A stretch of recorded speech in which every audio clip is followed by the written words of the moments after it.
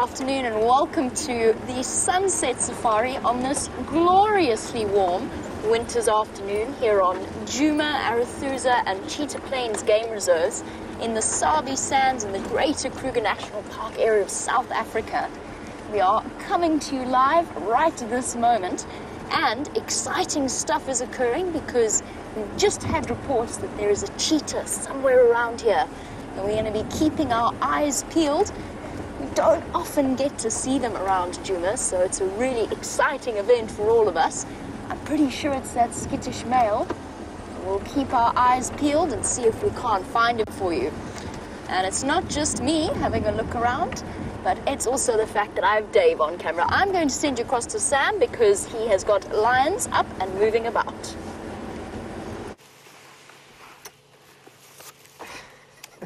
Good afternoon, everyone, to Safari Live. We have just found two of the males that we saw this morning, part of the Tsalala breakaways, and they've literally were just sitting there and they just turned around and went into the bush there. So they are still there, they're just sitting in a close thicket. So let's see, can we even see a tail there?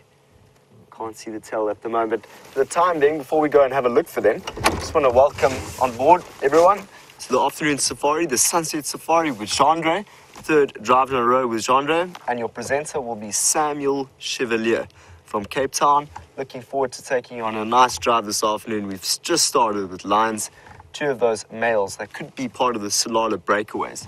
So I haven't seen them since I was at Londolozi in my training two years ago. So they were very, very young when I first saw them as a, as a young guide, and now two years later they've grown up. They're starting to to get those manes. and I just saw a brief glimpse of them not a few seconds ago, and they've just moved off and got a more quiet, a bit of shade there. So we're going to see if we can see them again. We're going to go slowly. We can't actually move into this property because this is Buffelshoek. So that's Sydney's dam just over there, and they've been lying up just next to the dam. So we're going to see if we can get another position, into another position where we might be able to see these lions.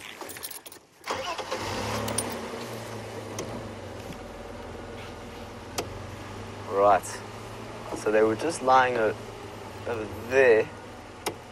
Thing is, can my eyes be like binoculars? I need my binoculars. Yeah, You can see a tail. There we go.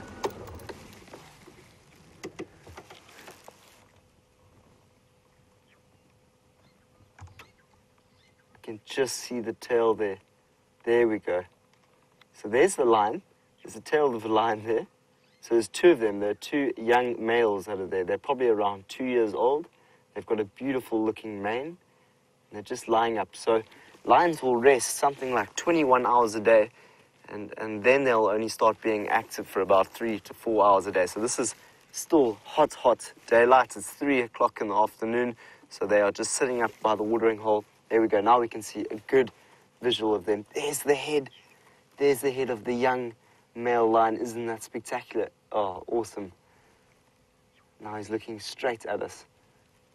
Look at that mane that's beginning to develop with this young male lion. And an awesome little yawn there. That's great. I didn't think that we would see him. But he's come up to say hello. And so he's been resting here the whole day. So Brent came out this morning. We had a fantastic morning. We saw, well, Brent saw those cubs at, at uh, Cheetah Plains with Nkanyeni and the cubs. And then he came across here and saw these lions on the other side. So we came to see if they're still here. And they are still very, very much sitting up. Well, not in the shade anymore, it looks. They're actually in the sun there. And this is the first time I'm viewing them, so it's really, really exciting. So the chances are they're most likely going to be sitting here, lying up for most of the day, and then when it gets a little bit darker, you might hear them get up and start moving around, which would be nice to see. Potentially, they might go for something down by the watering hole. But it's been a good afternoon so far. We knew that the lions could be, but the cheetah, there was a cheetah seen on our property not so long ago down by Philemon's where Jamie is now searching. So there's even a potential that that cheetah could come up through these thickets to the other side here. Who knows? So there might be an interaction later between a cheetah and a lion.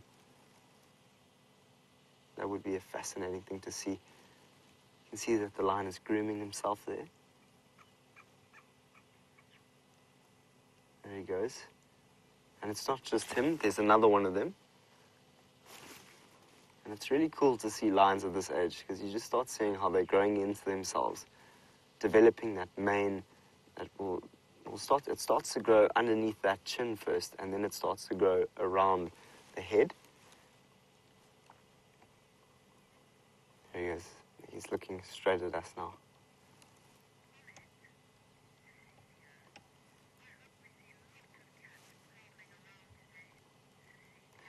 Cecilia says that she hopes that she, we can see lots of cats prowling around today. Cecilia, it's only the start of drive, and we've just come across this magnificent looking young male lion. It's interesting, you know, because they must be part of the breakaway Tsalalas. So the Tsalalas came up here, breakaway Tsalalas, which is, I think, part of the Mangane, Mhangeni Pride.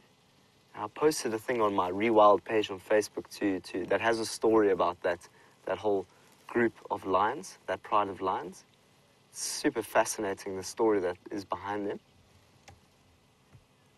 So, hopefully, if this lion stays here this afternoon, we'll be able to learn a little bit more about what is going on, what are the dynamics of this lion pride, and how are these dynamics starting to influence the dynamics of lions around here. Because we know the Birmingham boys are not so far away. This is part of their territory that this lion is sitting in.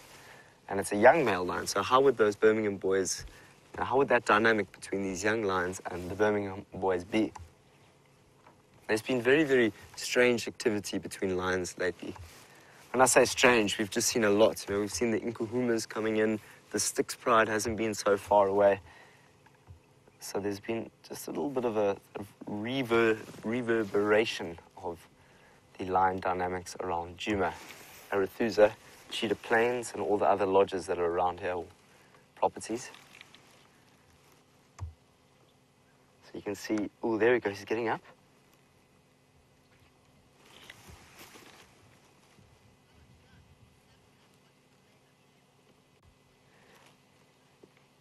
Wayne has just commented and saying, wow, he is quite young. You can see that he has hardly got a mane. Yes, Wayne. So when they are growing into themselves, so it takes it takes them to about three years to really mature properly, and so I reckon this lion must be around two and a half, coming up to three, and he'll start developing on that mane over time. There he goes. He's now up. So he went. He's looking to go and find some shade. I would imagine. There he goes.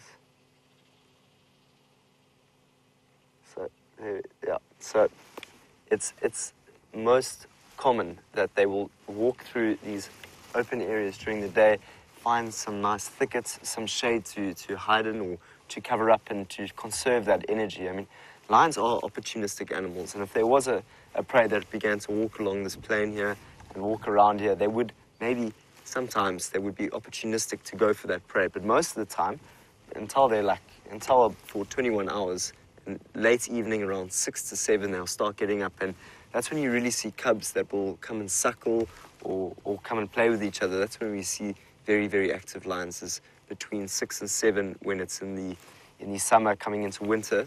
I'm just talking about the time that we have now because it is going to get dark here by six o'clock. It's pitch black by six. So what we'll do is we'll spend a little bit more time here with this lion, and then we're going to leave this area and see what else we can find this afternoon. As we were saying there might be some other prowling cats around the reserve this afternoon. So we're going to go around Djuma, see if there's any tracks of any other lions or leopards or anything else really. And we can come back to this line a bit later and see what it's looking like and see if it gets up and what kind of activity it might get up to in the later hours of today. I can't actually see it at the moment. I think he's still there. Let's have a, another look.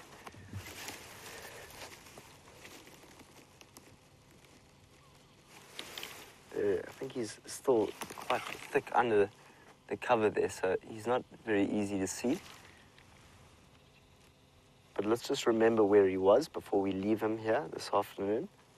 And I know there's going to be a, a, a school with us this afternoon. It's going to be White Oaks Elementary. And so I would love to show them the lions. So let's just remember where we've left the lions so that we can come and have a look. So while we go head off, we're going to head off in this direction, or actually we're going to go up towards Buffelshoek to see if there's any tracks there. We heard a leopard, or we heard alarm calls of a monkey and all sorts around there. So we're going to go and have a look and see what might be lurking around that area. For now, though, let's go and see how Jamie's doing with the cheetah. Look, We have a relatively exciting afternoon already. Uh, before we dashed across to Sam and his lions, I was just letting you know about the cheetah sighting that occurred in the middle of the day between drives. Sam, Sam. Oh, there's Brent. He's also helping us out for the Okay. moment. Now, apparently the last tracks disappeared into this block between Zoe's and Rebecca's road. I'm checking really, really carefully to see if this particular cheetah has popped out or if he's still in the area. And the tricky thing about this particular boy, if indeed it is a boy, could be a female, stranger things have happened. I have yet to see a female cheetah, but of course they do exist out here. I mean, a female cheetah while I've been working for Safari Live. But they must be around somewhere. And females, of course, compared to the males, have enormous home ranges. So they cover tremendous amounts of ground, almost to the point you wouldn't call them nomadic exactly, but they, they're pretty close between the two extremes. Uh, there's a good chance it could be a female. I suspect, however, that it is that skittish male that Scott saw all those months ago. And that he is maybe even looking to establish a territory in this particular area. And the two males that we see on Cheetah Plains generally don't tend to move across this far to the west. They do sometimes, but they generally don't. They generally stick around that more eastern area. He might have decided that this is a good place to come and establish himself. Not the best habitat. We do have certain areas that will be absolutely wonderful. So if we have no luck now, what we'll do is we'll return to this area once it gets a little bit cooler this afternoon. Because although cheetah are classified as diurnal, they do move about. Most most of their movement is in the early morning and then just before the sun starts to set and it gets dark. They spend most of the, the hot part of the day hiding out in the shade. I've just realized that I never quite finished introducing myself before Sam's Lines decided to go for a little bit of a wonder. Uh, Good afternoon, my name is Jamie, and I have Dave on the back with me this afternoon. And we're going to, between the two of us, find whatever wonders we can. I hear that you had a absolutely wonderful morning with Brent and Sam and Nkanyeni and her two cubs. I'm very jealous, just by the way, since it was her that I was tracking. Sorry. It was her that I was tracking yesterday morning when I was on Cheetah Plains. She skipped past me onto Nkoro. Hopefully. Why did I stop? Something. Oh. Well, that's embarrassing. It's a hyena track happens every now and again. When we do have a nice clear hyena track, I might stop and just show you the difference because of all of the big cats, the cheetah and the hyena track probably come closest together or are the easiest to confuse just because you see the claw marks and you instantly, especially when your brain is looking for cheetah, you instantly think cheetah. And it's amazing, so far I've seen at least three cheetah logs and probably about four cheetah bushes. I'm doing well. We've done lots of stopping and reversing. It's the danger of focusing your mind slightly too much on one particular animal. I know that Sam is following up on those alarm calls. If I don't have any luck here, in this area, I'm going to go follow up on alarm calls that I heard towards a little bit further to the east of where I am. I didn't see any tracks coming out, so I dismissed them for the moment. There's always a chance, there's always a chance that the cheetah snuck past and missed its tracks somewhere. Now let's go and see what wonders we can find. Perhaps we can start to start the habituation for this particular leopard. Ah, not leopard, sorry, cheetah. Difference. Since he is quite a, a nervous individual, we'll take things nice and slow if we do find him. Give him plenty of space. Just like what the way in which Brent approached the nervous male leopard around Buffelshoek Dam, or quite a similar method. Cheetah, of all the animals, though, are probably one of the easiest to habituate. I'm not sure what it is within their personalities. I've spent a lot of time walking cheetah and spent a lot of time with them on foot.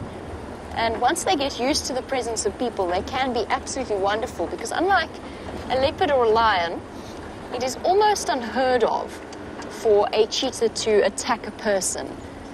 Uh, very, very rarely, and of course it's rare for, for lions and leopards as well, but cheetah in particular, since they do fall right at the bottom of that predator hierarchy list, they tend to be relatively relaxed. I've only ever been charged, mock, not mock charge, I've only ever had a warning charge from a cheetah once in my life, and that was a very, very wild cheetah, and she was trying to protect her sub-adult cub. And they do this, they have this straight legged effect going on where they sort of bounce forward and hiss at you. Not quite as intimidating as a lion coming barreling out of the bushes making a noise like a Harley Davidson, but nevertheless a really incredible experience. She then proceeded to disappear, and all the commotion in this particular incident, all that commotion, brought out a young duiker baby that had been hiding in the bushes, obviously waiting for mom to return.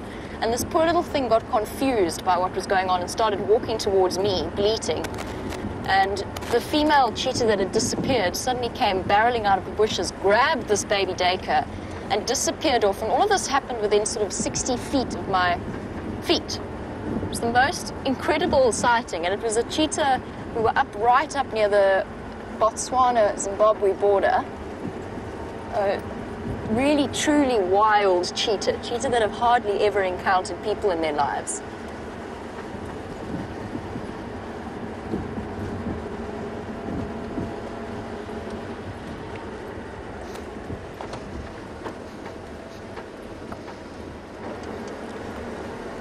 Leopold, on the subject of whether or not our cheetah is a, a female or a male, you were wondering if male versus female cheetah have, or if cheetah hunt, no, sorry, start that entire sentence again. Sorry, Leopold.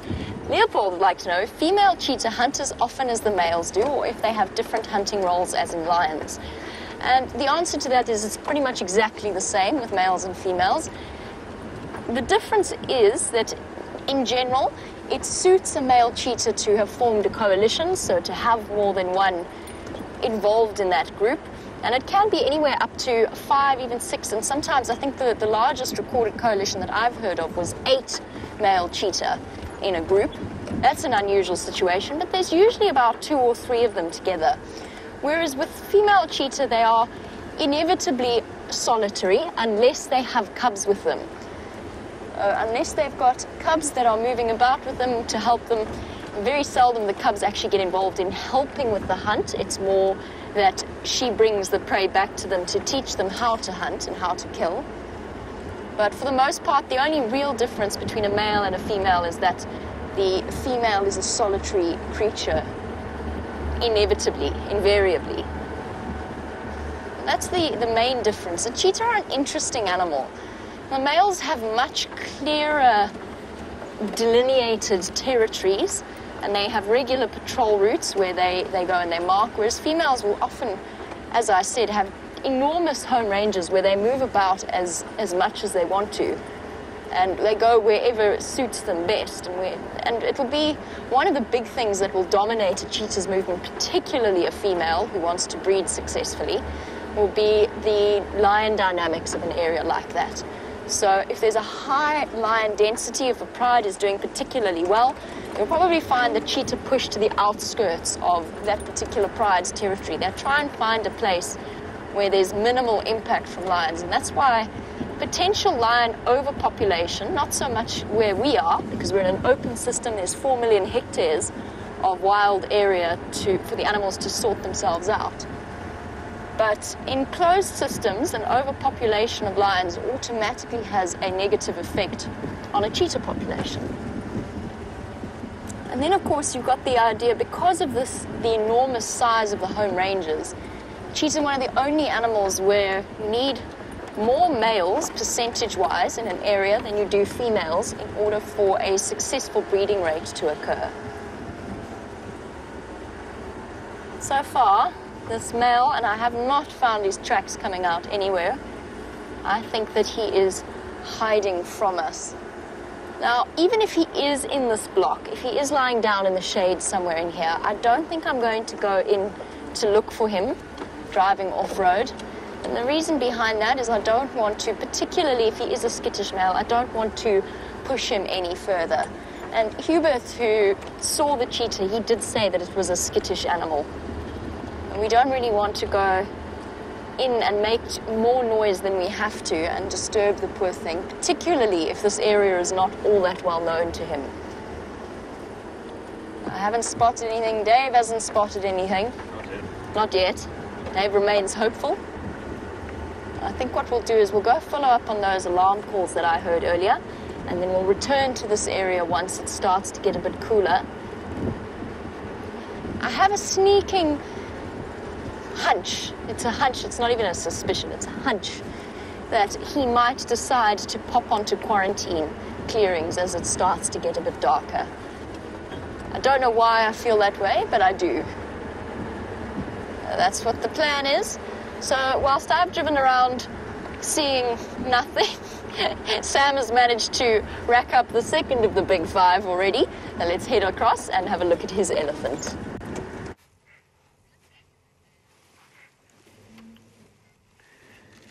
So here we are with an elephant, and it's not a very big elephant. It seems like quite a small elephant this afternoon. So he shouldn't be on his own. I'm sure there must be more elephants around here, but you can see he's browsing, a little bit more active than the lions that we saw now, who was lying up by the watering hole. And it seems this elephant is eating one of its favorite trees there, which is an acacia tree, the one with those big, big looking thorns on it.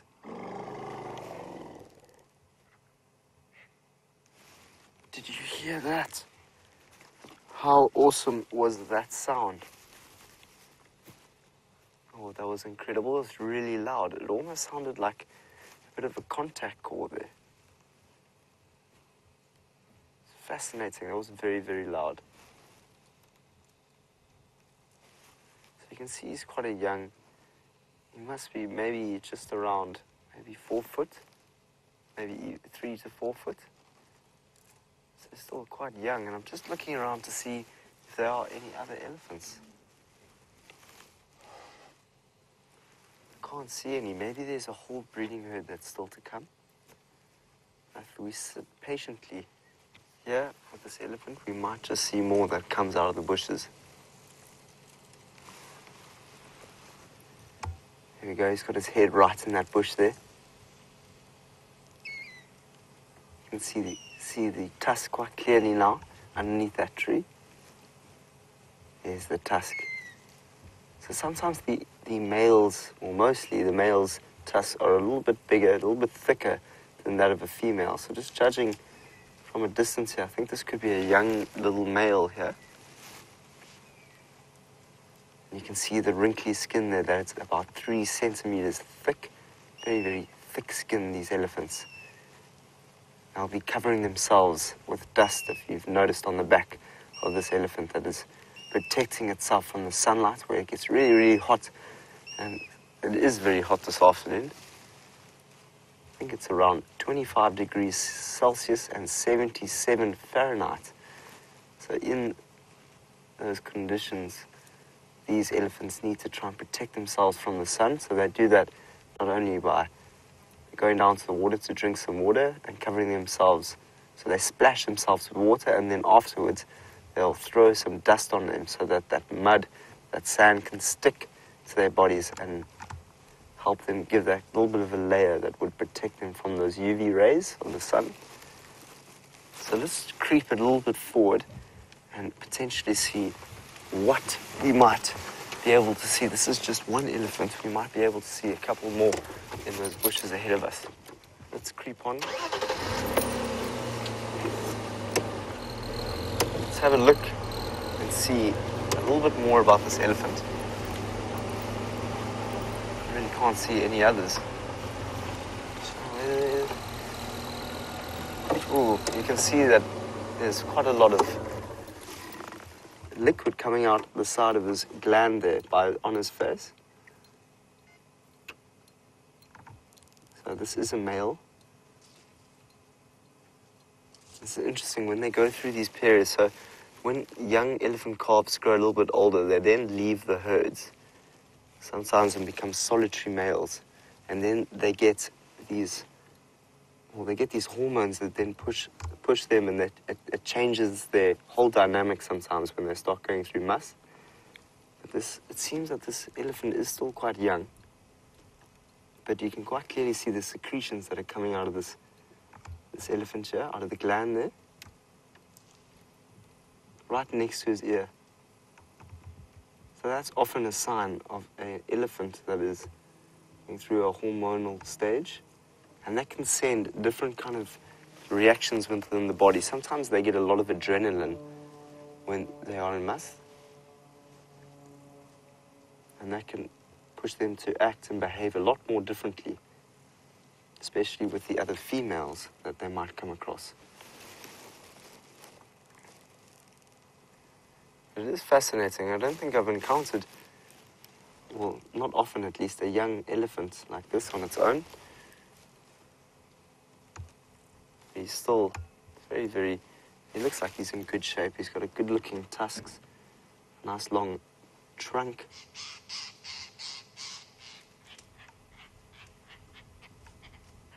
Those tusks are quite thick and big there. Isn't that a beautiful picture? Have a look at that long trunk as we see how dexterous those, those trunks are as they can move them around, collect different grasses, so if we're lucky, we'll get to see this elephant not only graze, but also browse. So they're mixed feeders. They both graze on the grasses and, and browse on the trees. There we go. Looks like he just had some grass.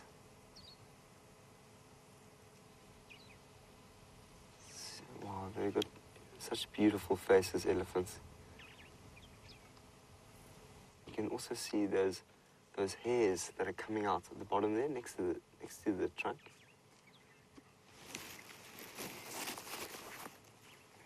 And those are very, they've got a lot of senses. so when the, those little hairs that come out from the mouth there are able to feel everything that they might be touching. But let's continue on. Maybe there'll be a, no, a number of other elephants that could be in the not so far distance. We're on our way to Buffelshoek Dam. And there may very well be a large breeding herd of buffalo as well as a large breeding herd of elephants that might be looking towards going to those watering holes. It looks like he's starting to move quite quickly now, just before we leave him. There's another elephant down there. I've just spotted the other elephant. So that's interesting. Here we go. So you see how well camouflaged they can be sometimes. So there's the other elephant that's just over there. So we didn't even see that elephant as we came up, but it was quite stuck in the, the thicket there. And that's going all the way down into the Mawati, into the drainage there. If they continue further down. So this elephant isn't on its own.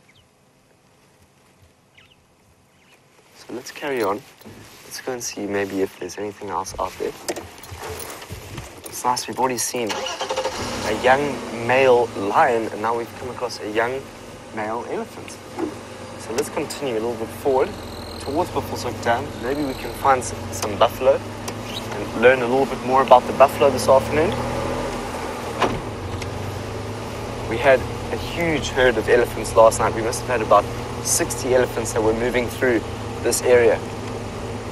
It's fascinating because, as I said, you know, that dry season that's coming, you're going to be experiencing so many new elephants, which will be great to see. So this road that we're on here is Buffelshoek Cutline. So as we drive down Buffelshoek Cutline and we have a look for anything that might be lurking in the bushes around, let's go and see how Jamie's doing on the look for that cheetah. As Sam ratchets up the big animal sightings, I'm still trying to figure out what these alarm calls are all about. I don't know whether to look to the skies or look to the ground to see what's upset the squirrels and the go-away birds so much that they are continuously calling. Something's also upset a herd of elephants. I heard an elephant trumpeting off in this direction as well.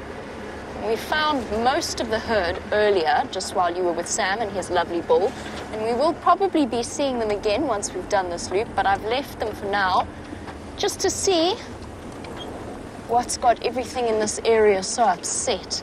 And shades of yesterday afternoon sunset safari where we spent a good deal of time crisscrossing backwards and forwards to figure out what was upsetting the animals around Gallagher Pan. Okay.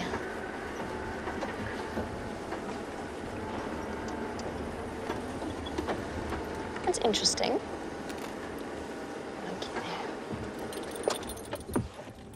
We've got something on the ground which is relatively unusual if there were a leopard or a lion about. Hello, little monkey.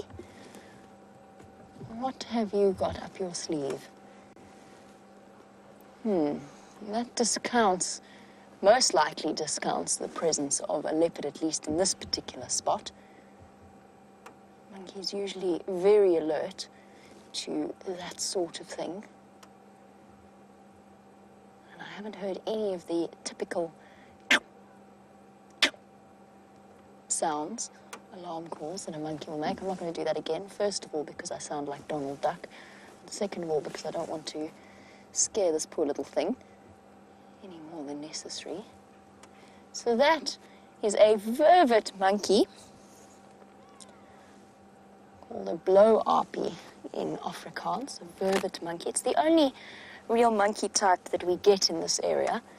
There's only two species of monkey within South Africa. That is the Sykes or the Samango monkey, and then the vervet monkey. In this area, you'll only see the vervet monkey and then the chacma baboon. We hardly ever get to see the baboons, but we are fortunate enough to see vervet monkeys every now and again. So let's go forward a bit. I don't see any other members of this particular troop. So I wonder where they are. Now he's just down on the ground foraging for seeds, maybe even insect life. Anything that they can find at this point as we go into the dry season will be on the menu. Where on earth did he disappear to? Oh, there. Hmm. It's a little bit tricky.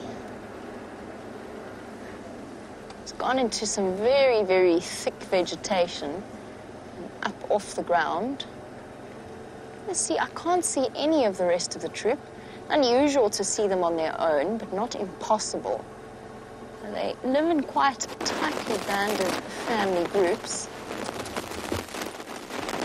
Right, I'm gonna leave our monkey since he's no longer visible. I'm gonna go see if we can figure out what the alarm calls are going on about. In the meantime, a hornbill with Sam. Got, it's got to be quick. So we've just come across, across a hornbill that has just swallowed a locust whole. That looks like a hornbill. The hornbill, I'm not sure which hornbill it is. I think it's the, from up here I can see it is, it looks like the red-billed. Yeah. It's the red-billed hornbill.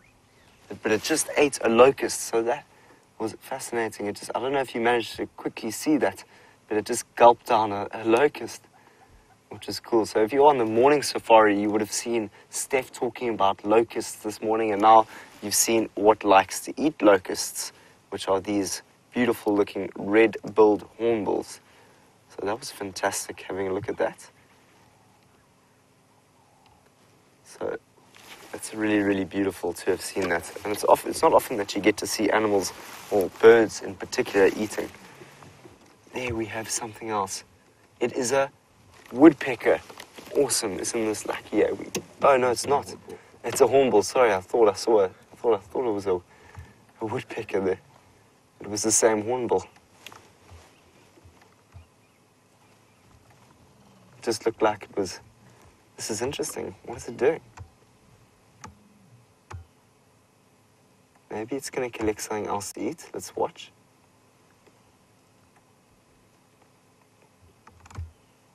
So there he is standing on a perch. He Could have collected some food. He definitely probably collected that locust down from the ground. Maybe he was just cleaning his beak on top there. There's, oh, this is awesome. Look at that. So we just saw, we just saw one getting, one locust being eaten, and now another one comes through.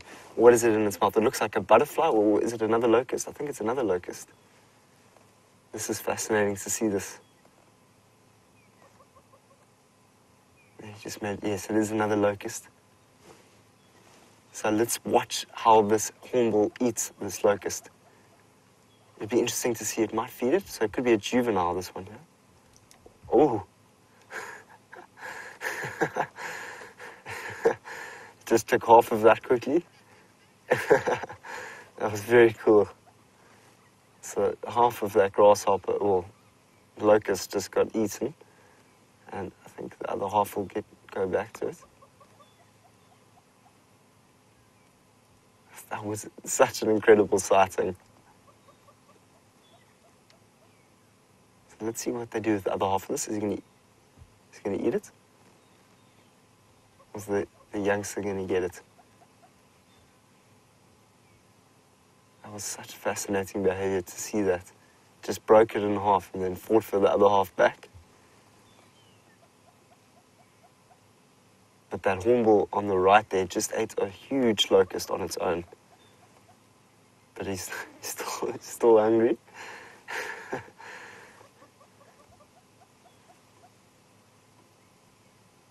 I'm just to stay quiet for a little bit because I want you to hear the sounds of this hornbill.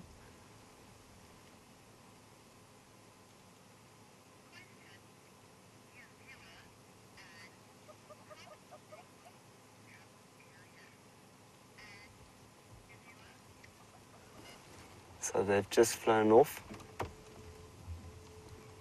Where are they now? Well spotted their Jandre on camera. So it looks like they're still eating it. Looks like they might finish it now. There goes the one. Is he get swallow it down? There we go. There we go. What a fantastic sighting. That was incredible to see this. Looks like they clean their beak afterwards there. That was just incredible. Yeah, they are cleaning their beaks. That's exactly what they're doing. So it all started with one grasshopper being eaten by the one hornbill, and then another, another hornbill just came and flew onto the branch and started eating another one. Very, very, very lucky to have spotted that this afternoon. Incredible. So a new viewer whose name is Anne. Welcome, Anne. So this is the red-billed hornbill that we are looking at today. We get a number of other hornbills. So that's your question. You wanted to know what other hornbills we get. We get this one, the red-billed hornbill. We also get the yellow-billed hornbill.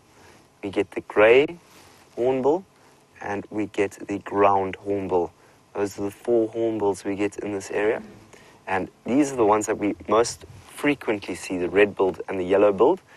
The grey, not as much, but we do still still see pretty much every every day we see the grey. But the one that we don't see that often is the ground hornbill, and that almost sounds the call that a ground hornbill has is almost like a lion.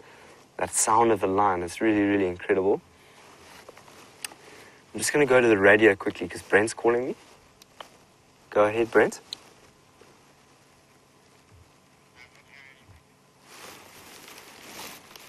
Brent, I'm just driving up with also Cutline now towards the dam.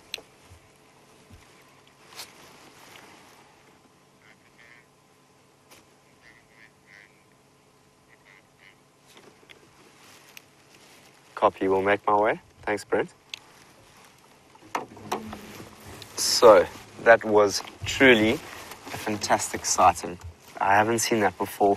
We were so lucky. First, it, it started with a grasshopper being eaten, and I, felt like you just missed it. And then all of a sudden, another one comes and shows it to us. So it had to be seen this afternoon. A grasshopper or rather, a locust being eaten by a hornbill. So that was fantastic. We're going to head towards Buffelshoek Dam. Apparently, there's another large animal there. It'll be the third of the five, big five, that we're going to be seeing this afternoon.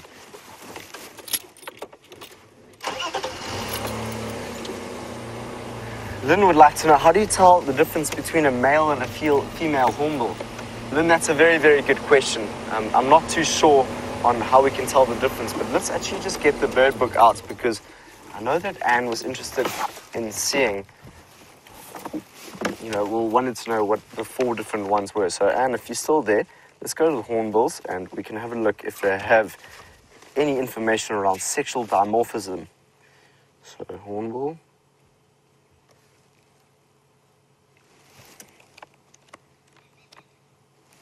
All right. So these are our hornbills. Let's first go to the one that we just saw, which is the southern red-billed hornbill.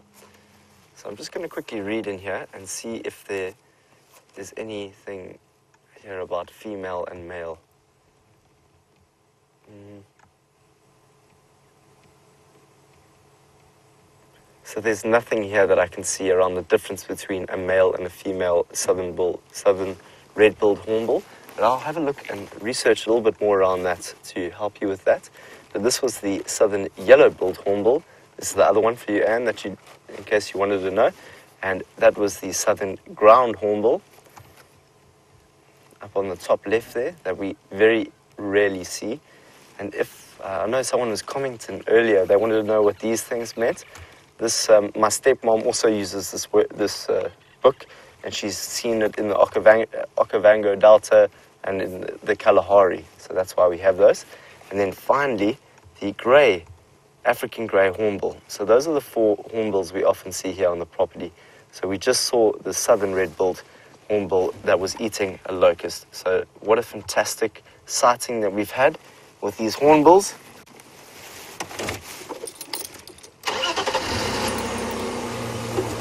Montana Steve would, would like to know could those hornbills that we just saw now be part of a mating pair? You know, Montana Steve, I would have thought that that was a juvenile, a young red-billed hornbill that was then being fed by one of the others, one of the parents of that hornbill. So that's what I would have said, but it could very well have been a female and a male. I think when they get to adults, like when they become adults, they, they will feed for themselves. There's no need for, for them to be fed. So purely because we saw that one hornbill feeding it or giving that locust to the other one, I could, I would imagine that that was the elder one. So that was really, really cool. I've never seen that before, how, how a locust can just get eaten in one full bite. Very cool. Great, great filming from our cameraman, Jandre. So just heard of heard a report that there might be another large animal down by the watering hole. So we're going to move in that direction and see what we can find. In the meantime, let's go and see how Jamie's doing. This is exciting news. So, I very determinedly followed up on the alarm calls of the go away birds, and I was starting to feel a little bit like I was on some kind of wild goose chase in terms of following up. I couldn't find a single cat track, but I found the reason, and unfortunately, the reason had wings, and thus decided not to stick around in order to corroborate my story. But it was some kind of bird of prey, quite a small one. Almost want to say it was a buzzard of some kind that had caught a, again, not entirely sure, what looked like a francolin. It flew off. It was on the ground feeding when I came around the corner, and it flew off very, very rapidly and disappeared into this thick drainage line. But that is why the go away birds were frantically calling. And Dave saw it. Dave saw it, so Dave, there was a bird, right? There was a bird of prey. There we go. We've got a nod from Dave. Dave, of course, you do realize that you could have thrown me under the bus there spectacularly. Um, that being said, of course, then I could drive you into a thorn tree or something. So, so Dave, Dave knows what's sensible. Oh, yes, I forgot about that, Dave. Dave also once saw a lion that that left no tracks and actually I think might have been that cheetah, to be honest. I actually think it might have been the cheetah we're looking for. I'm pretty sure it was a lion. All right. Dave's convinced it was, he saw a lion. Dave saw a lion that nobody else saw, but both of us saw this, this bird. Black and white bird of prey, relatively small, carrying something, clutching something in its talons. Oh, at least I feel like I wasn't following up on a wild goose chase again this afternoon. Yes, it's you. You lot are responsible, thank you, for showing me the light, or at least the bird of prey. I'm not completely mad. There are two grey go-away birds sitting there. Sorry about the antenna, everyone. It's gone slightly skew, thanks to a large branch. There you go. They're still calling off in the distance. Whee! And it's always worth following up on alarm calls like that because you just never know what you might find. And sightings like that, even if it's the briefest moment, the flash of feathers of a bird of prey, are always incredible to witness because it's just part of, it's like one of the tiniest pieces of the dramas that play out every day here. And we focus a lot on the, the big cats and their stories, whether they be lions or leopards, and we spend a lot of time with elephants and buffalo. But there are all kinds of things happening all the time out here. And the go-away birds are, bear witness to a great deal of it. And they're still shouting out their alarm. So somewhere in this drainage line, some poor hapless francolin was caught up in the day-to-day drama of life and death out in the bush. Bye, go-away birds. Okay, we go back and see if we can find the herd of elephants on our way to Arathusa. That's the plan now. I'm not. Oh. That's interesting. One of the reasons why you've got to be so careful when you go walkabout on a day like today. Because, especially in a block like this, look, he's hiding out there. Practically invisible. And if he hadn't moved, I would not have seen him. Hello, boy. I was just wandering about very close to you. I'm glad that we didn't find each other on foot in a surprise manner. Doesn't he look terribly peaceful and comfortable? Oh, oxpeckers have arrived. He is so laid back. Nose right up in the air. Well, it is a hot afternoon. It Seems to be a good spot to be if you're a buffalo. I'm very, very glad that surprise wasn't waiting for me around the bush that I went walking through.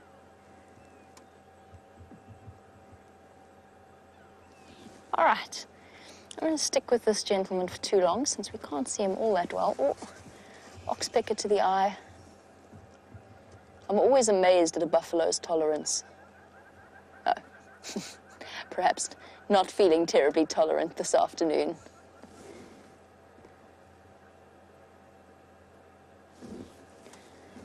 And Anne, a very warm welcome to you as we watch the oxpeckers clean out the nasal cavity of this buffalo and around his lips.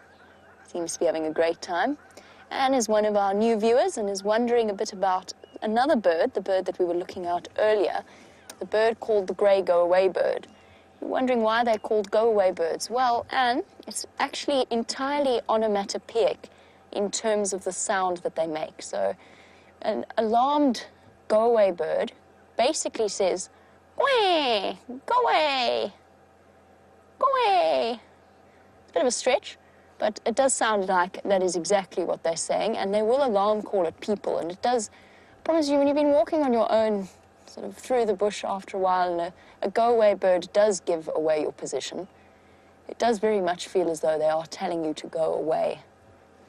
Now, I've always known them as grey louries throughout my childhood, but the name has been changed.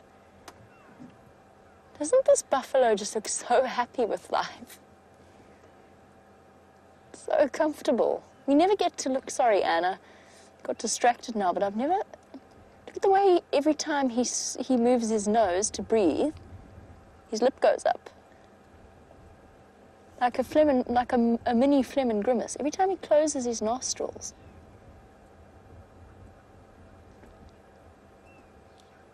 It's a really interesting reflex.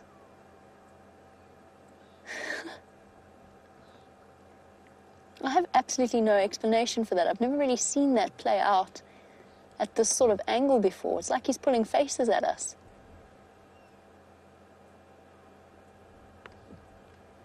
Really interesting to see the way that those muscles are obviously completely connected and how instinctive that and grimace really is. It's not a full and grimace, but it's sort of like half a Flehmen grimace. The Flehmen grimace, of course, being that facial position that a lot of mammals adopt when they are when they've exposed themselves to an interesting smell. Basically drawing up the top lip. What that action does is it opens up passages to the organ of Jacobson, which sits at the top of their palate, and allows them to taste the smells that they're experiencing. Interesting. Oh, no, doesn't want that ox oxpecker there anymore. Okay. Bye, Mr. Buffalo. Let's go see if we can't find those elephants again that we were with earlier.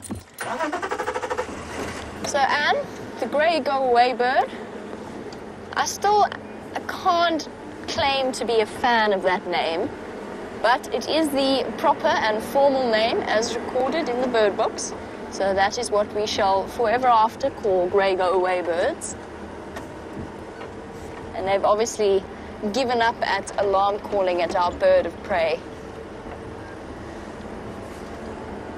Such a pity that I couldn't show it to you, but next time. We'll get it next time.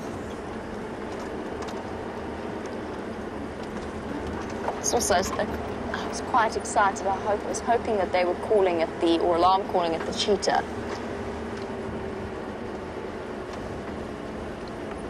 Oh, Debbie, just to finish off our discussion on cheetah, you wanted to know about the coalition dynamics of a male cheetah. Just bear with me one second.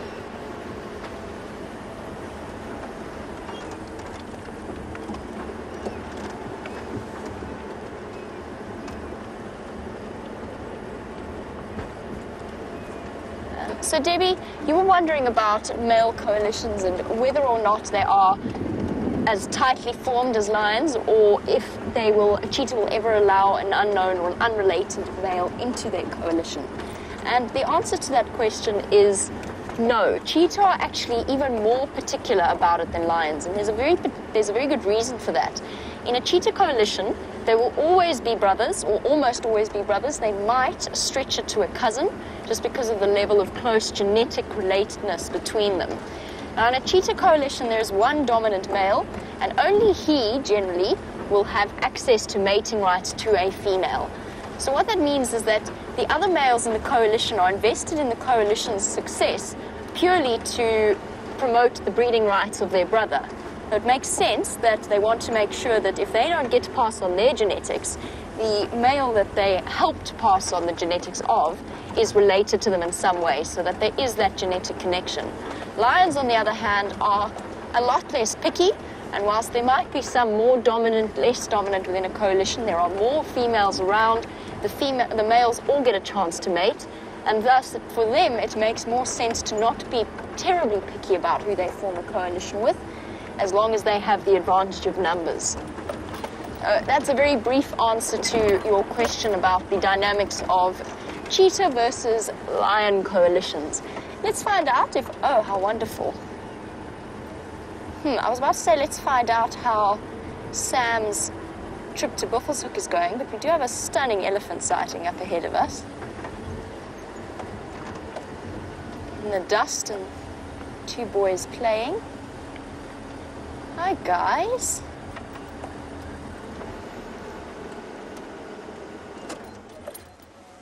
Hello. There we go. I did see this elephant herd earlier. I'm so glad that they decided to pop out into the open.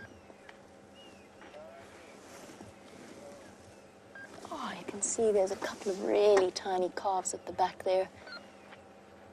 And then these the, the center, the protected center of the herd.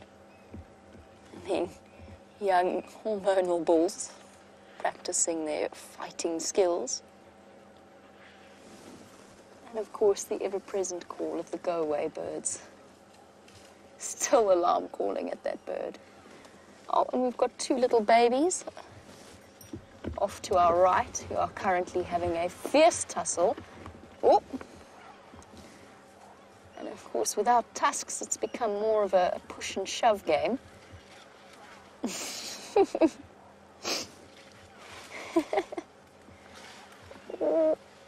Who's winning here? It's a tight match. There's one poor little elephant who wants to join in the fun, but is just not quite big enough to be involved.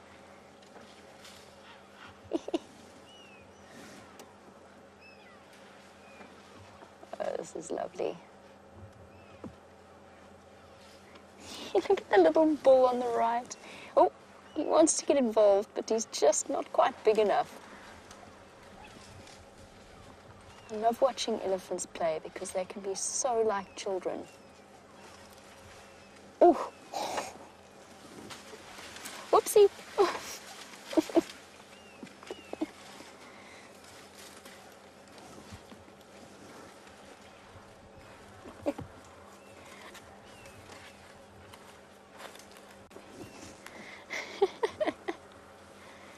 A serious display of power happening here between these oh, two colossal giants. oh dear, it appears to have got slightly too rough. Is it time to make peace yet? There's dust flying everywhere, trunks entangled, and learning how gravity works here with the slope. The one on the right ever so slightly larger than the one on the left. Oh, snack time. Just break for snacks. Okay, there you go.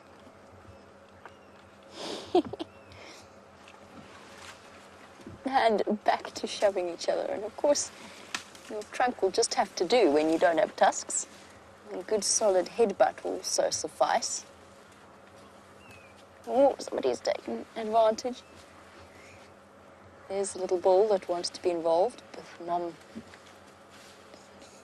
I love how indulgently the females watch the antics of the males. Oh, mom's established some order there. Oh, how wonderful. All right, well, since mom has decided to come and put her foot down here in the games before they get too rough and out of hand, and Sam has also encountered an elephant herd heading down for a drink at Buffelshoek. We've got some more elephants, and the other one has just come down to get something to drink. There's a hippo there, two young elephants drinking at Buffelshoek Dam with a really large hippo. And if we're lucky, we're going to see some sprays from the hippo. We just saw the hippo spraying and these elephants watering each other. You see that? He was blowing some water on his, his brother or sister there. Have a look at them drinking. So they fill it up in their trunks and then pour it into their mouths. Awesome, such a great sight. It's so cool when you come down to a watering hole and you come across elephants running down to get something to, to drink. It's always such a special sighting. And there's not only just these two elephants and a hippo here, there are some big, big buffaloes that are also just to the right here. So we have quite a few animals down by the watering hole this afternoon. That's where those big dagger boys are. There's two over there that they've been showing a little bit of animosity or getting angry with each other this, this afternoon. I just saw them kind of grunting at each other. So it's just interesting to come and have a look at those two big dagger boys. But let's go back to the wonderful looking elephants that are drinking down by the watering hole. There they are, looking very, very content to get their afternoon supply of water with a big, big hippo. If you want to take a screenshot of a lovely picture of two elephants in the background of a hippo, it's a very cool shot to see. And I don't think that these hip, these two elephants. Oh wow, we just saw spray there from the hippo. So you got a spraying hippo and drinking elephants.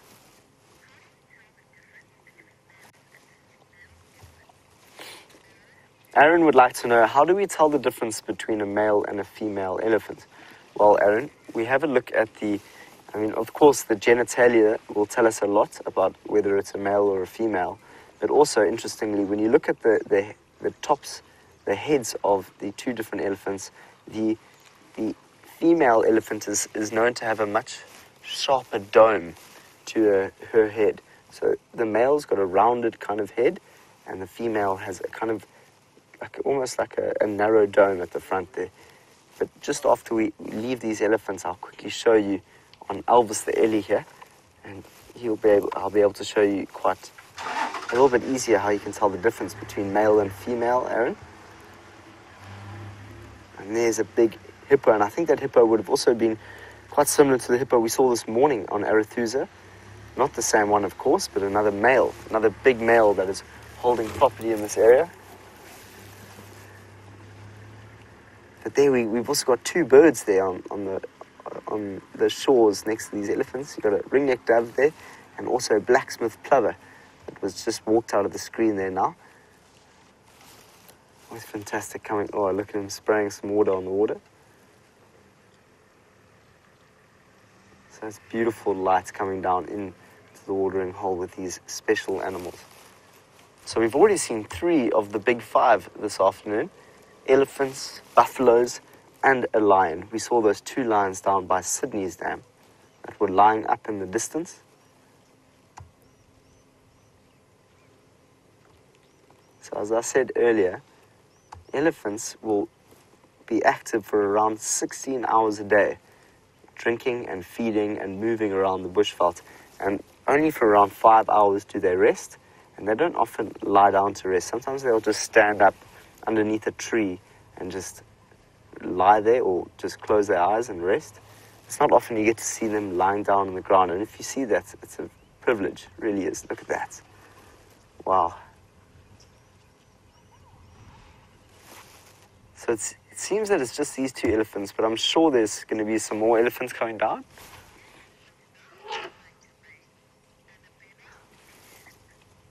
Wow, it just had some cool cool, cool little bit of behavior there from that elephant. He had a little trumpet. But Anna, age six, asked me, do elephants know when it's about to rain? It's a good question, and I, I don't, I don't, um, I'm not too sure of that answer really, I but I, I think they could. I mean, the pressure changes dramatically out here in the bush when, oh, there's some more elephant, elephants that could be coming. You hear the sound of that trumpeting elephant there? Why, what's going on? I don't know why he's behaving like this.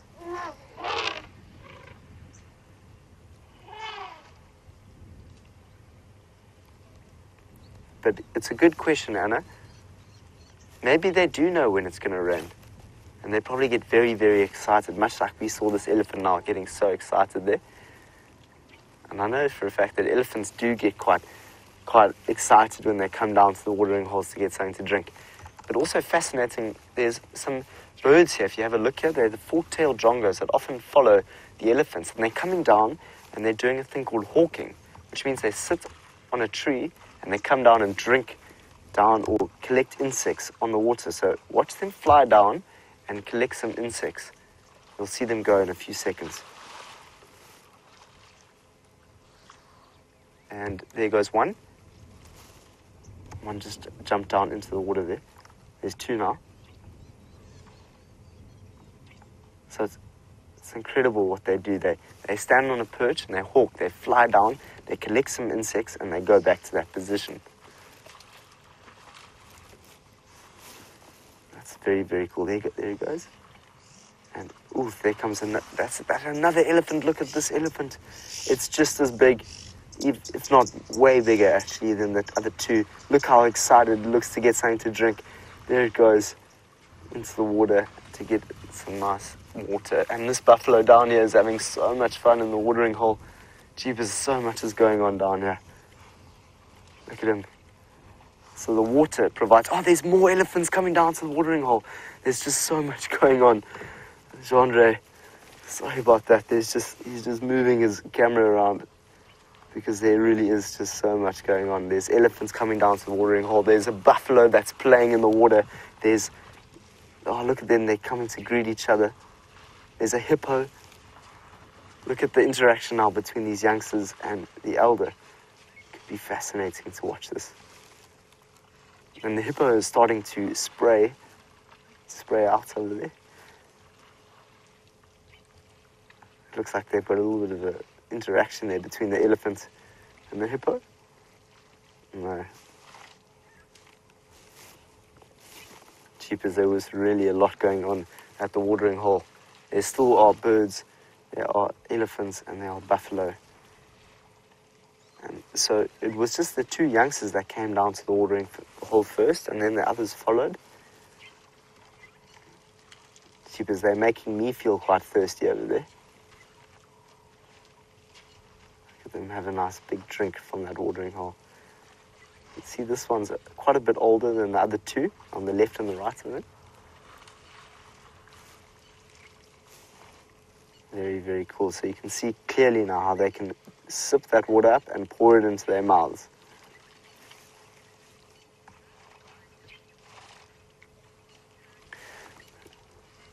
Tony's asking, how do elephants, when they pour the water down their mouth, how do they make it not go down the other pipe? Well, Tony, I think it could be quite similar to us humans where we drink and it just goes down the right pipe automatically. But, I mean, you should have seen me a couple, probably about 30 minutes ago. I was eating an apple and the apple went down the wrong channel in my throat and I was coughing for about 20 minutes. I couldn't go live. So I'm sure that often happens with these elephants over here, where sometimes they chew and they goes down the right, wrong pipe. But it's a good question, Tony. I would study a little bit more about the anatomy of how, of how where the food goes down and where the water goes down. It's so cool to see these youngsters with the elder one. What's, what's also quite fascinating is that the drongos who, who often follow these elephant breeding herds are also just sitting. So it's almost like these, those, these birds, the, the drongos, will follow these elephant herds. And when they come down to the watering hole, they go and find their own place after, after the elephants are drinking and they start feeding on the insects on top of the water and also start bathing. So there's all sorts of things happening at this watering hole. Did you hear that? That's the sound of an elephant making that sound. I'm not sure if you picked up on that.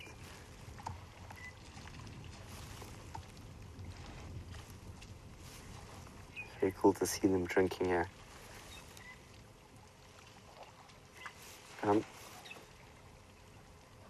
so the, the tusks are still quite big on this one. So is this a male or a female? Could very well be a female. This large one over here. And you can see on top of the head there, there's quite a dome, like a sharp, narrow look to the top of the head of this elephant here, the big one. So I think it is a female, and I think I can also see, yeah, you can see that, that kind of narrowness to the top of that head. That's going to tell us that's a female elephant. And it does look like there's some mammary, some mammary glands to that elephant, which is just on the under. There we go. We can see the young elephant start eating. Oh my word, we are, are literally having the best afternoon. There are more elephants that are coming down to the watering hole. Isn't this just fantastic? This is one of the best afternoons I've had here at this watering hole. I almost don't know where to look. There's just so much going on. Look at all these elephants come down. Look how excited they are. There's a youngster there. It's been a long day of browsing. Look at the way they walk. Oh, look at that sweet little elephant coming down. It doesn't have any tusks. It's still very. Oh, wow. Look at this small one. There's a tiny, tiny elephant to the right. Wow. Look how cute this elephant is. Oh my word, that is the cutest little elephant I've ever seen. Oh wow, isn't this special? Look at how small this little Ellie is. It's just incredible. This is a really, really big, really, really, there's a massive elephant just on the background there. You can see, see him walking. So what was really fascinating is that we stood here with just one elephant earlier, and both Jandre and I were like, could this only be the only elephant here? And next thing we knew, there were 40 to 50 elephants coming down to the watering hole. So that, and at the moment we've got about 20, but I feel like there could be more. And it's so great when you see these big herds, these big breeding herds of elephants. Can you hear that sound?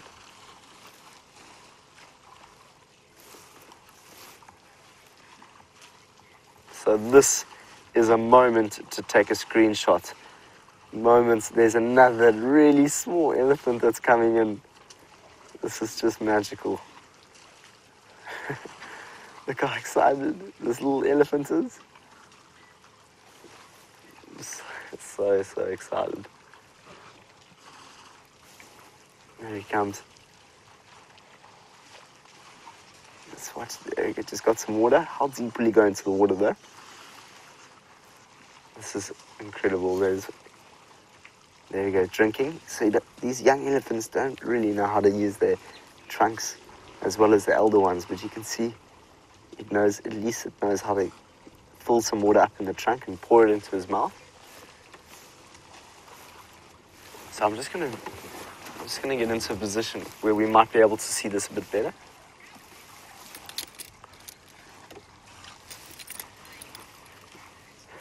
Gracie, aged eight, is asking, does Elvis like it when we meet these big breeding herds of elephants? I can tell you right now, Elvis is feeling more than excited. But let's just get into a position, Gracie, aged eight, where we get to see all these elephants down here. This is just magical.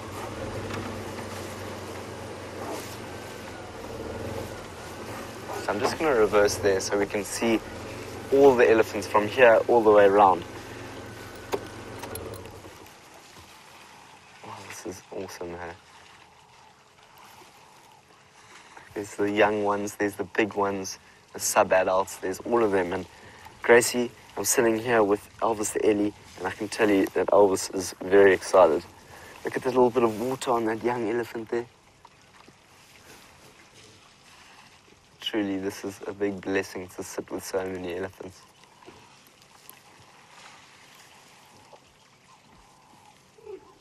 So we just came in time for this big breeding herd to come down.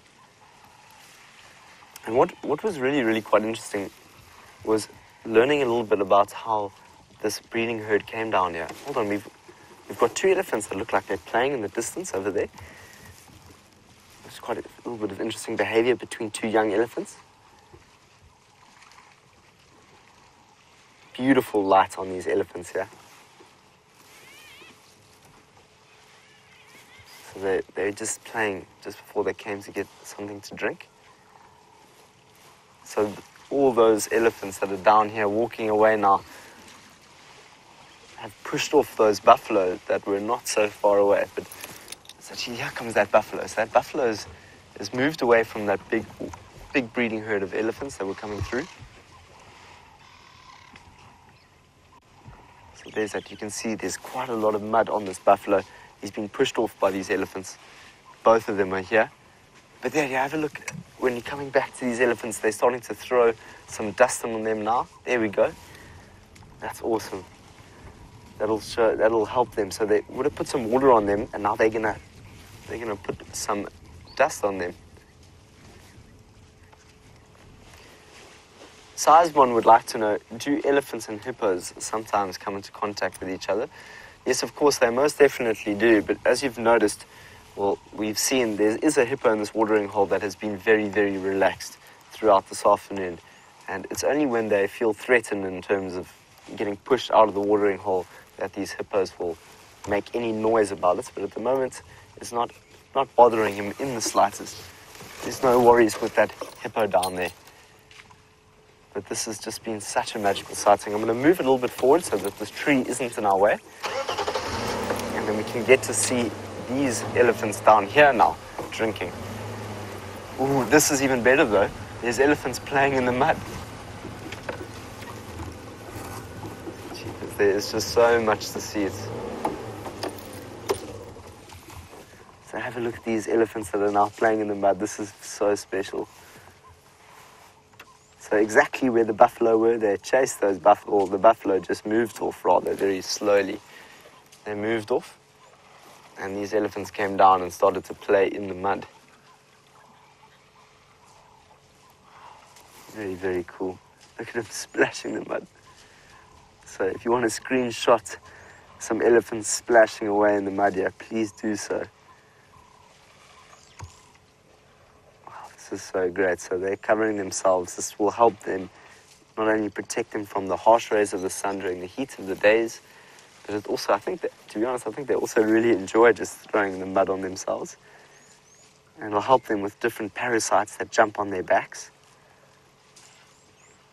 It's also a little bit of a bath for them. As much as we wouldn't see that, because when we throw mud on ourselves, we get very, we think we get quite dirty. That's very cool to see these elephants playing here like this. Look at that. Yo, this is incredible.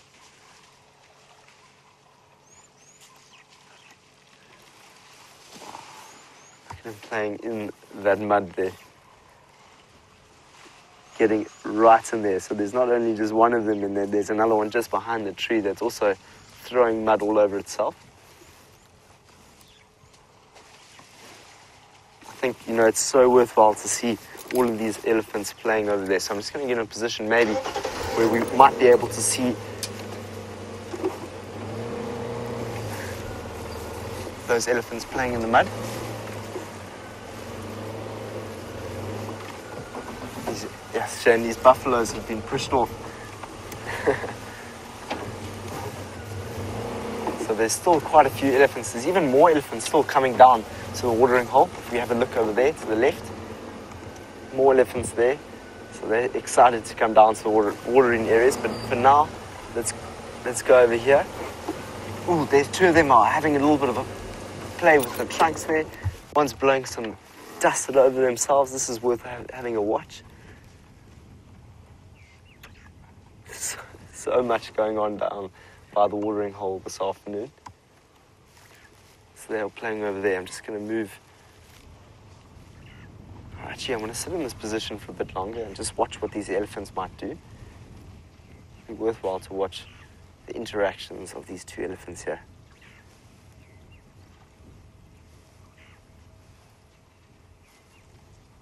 Looks like, ooh, there we go.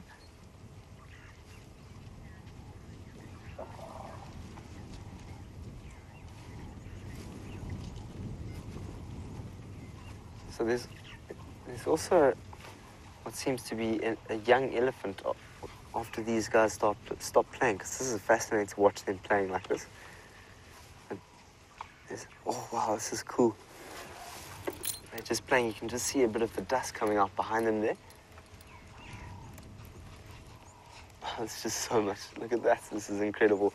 If you, it's pushing itself. There we go. That elephant just pushed the other one away. And to the left is this small little Ellie over there. That Ellie was just lying on the floor there, which was interesting. There we might just get back down on the ground while we watch these two fight. There it is, it's on the ground. Sweet, look at that little elephant there. There's so much going on. There we go, these two elephants are still having a little bit of a, just a little bit of conflict. I think that they're just playing with each other though.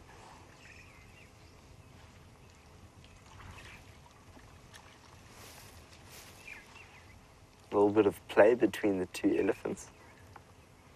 It's good bonding, social bonding between them. Oh, this, it all started with one elephant. So Next thing you knew, you had elephants playing with each other, young elephants drinking. Look at this, this is so cool. They've got their, they've got their trunks wrapped. They're just rubbing against each other there. Look at this. Oh, it looks like they're just sizing each other up. They both look like they're similar age. One's reversing off into the water there.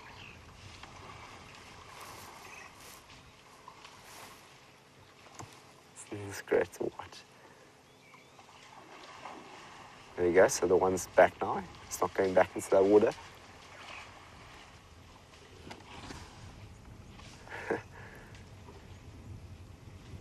It could also be a little bit of dominance display between two young males. They're just trying to feel what it's like to have their trunks and their tusks grow bigger. It's a great little interaction between those elephants. It's always, always fascinating to see them. So yeah, they've just come across another elephant. So we still have a few, quite a few of the elephants around. Oh, looks like he just, what's going on here? He's kicking. He looked, he looked like he was kicking the other elephant there. A judo kick. I was a great little bit of interaction between the elephants.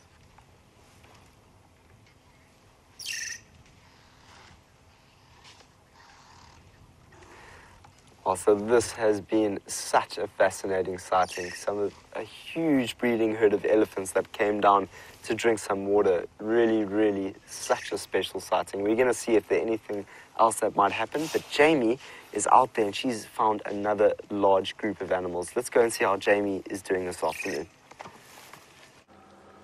We're having something of a breeding herd afternoon on this sunset safari and just to have a look at this tiny little buffalo calf before it disappears. There's quite a few of them in this herd. If I had to guess, I would say that we could well be surrounded by close to 300 buffalo all around us. Uh, we're starting to really see the effects of the dry season starting to take hold. Lots of breeding herd of elephants and lots and lots of buffalo as well moving through this area. I was actually on my way to Arathusa, but I found myself in something of a buffalo roadblock. They just appear to be everywhere and they just keep streaming out of the bushes in front of me and to the west of me. There's something truly iconic about a large breeding herd of buffalo. We so often see the dagga boys, or the, the sort of more solitary, in the smaller groups of males, but we don't often get to, hello girls, encounter the, large breeding herds like this. And there's, oh, Dave, look at the little one. Sorry, distraction. Another tiny calf, probably only born about a month or two ago, if that, following behind. Imagine how scary and confusing it can be at times to be a buffalo calf of that size, especially in a stampede situation where the buffalo are running away from a lion attack. Imagine being that poor little thing trying to stay together with mom and in a group like this. Must be tremendously scary.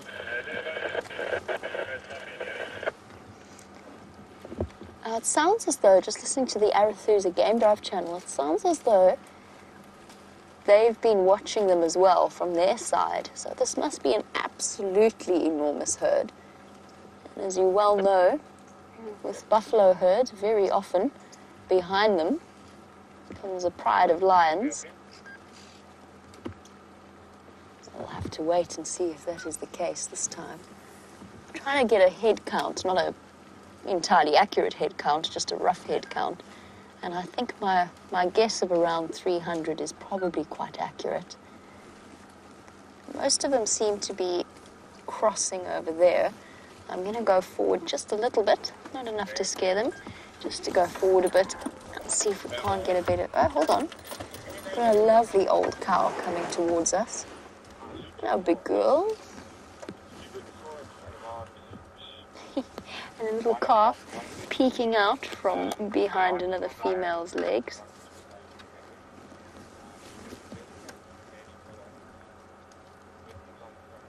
I think my, my view of buffalo will be forever changed after the sighting that I had with the Nkuhuma lionesses a couple of months ago, where the lionesses chased the buffalo herd for a long time before catching one of the young calves.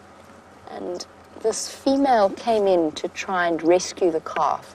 It was the most incredible show of bravery. She came so close to actually becoming their next, their additional meal in her efforts to try and save the little one. And it takes, I mean, you, don't really know what goes through a buffalo's head. They don't really give the impression of being the most well defined in terms of intellect. Let's try and put it nicely. And they, in other words, they're not really the brightest sparks, so they certainly don't appear to be. And yet, I'd love to know what went through the cow's head when she set out to defend her calf. Oh, as our breeding herd slowly streams across, Sam's, one of Sam's elephants has gone for a swim in the dam. Sorry, sorry. Isn't we? This is just incredible. I didn't even know how to start there. This elephant just came and just dipped itself in the watering hole. what a pleasure! This has been such an incredible sighting of elephants this afternoon. And look, half his body is full of mud now and water, and they're still playing in the watering areas. Look at this. Wow.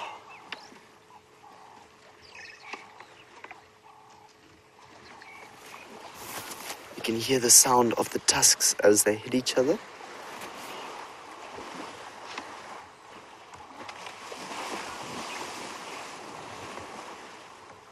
This is such a special sighting. These two elephants have been playing with each other for at least 15 minutes now. Fascinating to watch these juveniles playing. Splashing all over each other, jumping in the mud, kicking, shoving.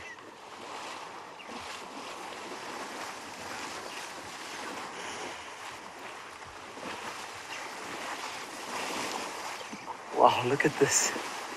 This is a full on little tussle between these elephants. They're still going. this, is, this is so cool. And they're still going.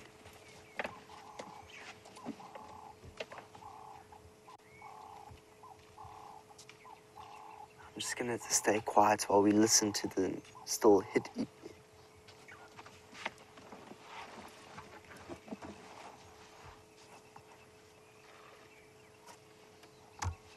can really hear it when their tusks hit each other.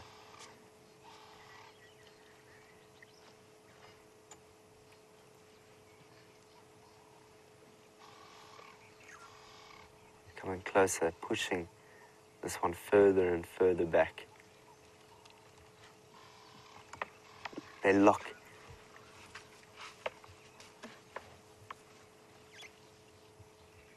So cool to see this.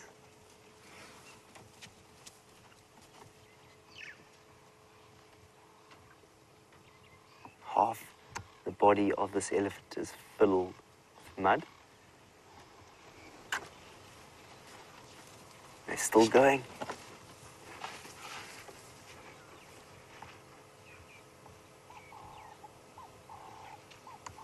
There's a little bit of tension. It seems like it's two two males. And Sarah was just asking, would two females do this? And you wouldn't often see two females fighting like this. It's more between young males that will be playing and hitting each other with their tusks and pushing each other into the water. This one doesn't want to stop playing. He keeps following the other one in whatever direction it goes. Out of the breeding herd while they've just gone behind the bushes there. Oh no, they're still going. It's like they're having a little sword fight.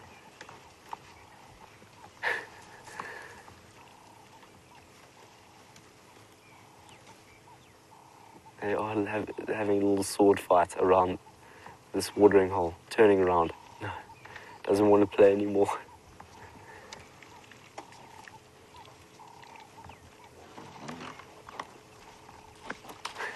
Going back into the water.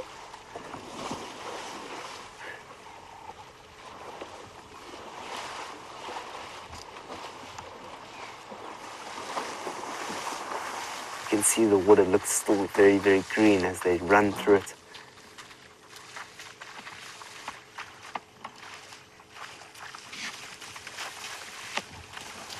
Look at them, they're still going.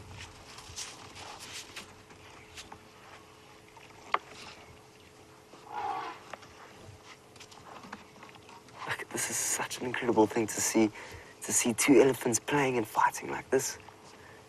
The tusks are still hitting each other. Their trunks are coming interlocked. I've been silent every now and then just to listen to that sound of those tusks hitting each other. The sound of those.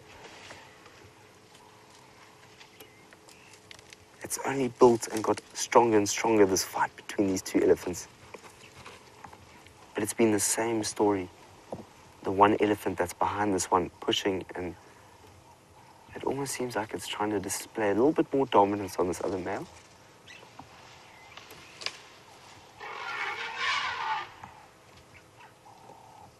They've been running all the way around this watering hole.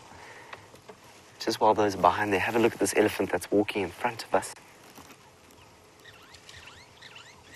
And it's walking right past that hippo there, so we're not, it's not the only two elephants that are here. We still have one elephant that's quite clearly observing what's going on. You can still hear the sound of those two that are fighting, the tusks hitting each other.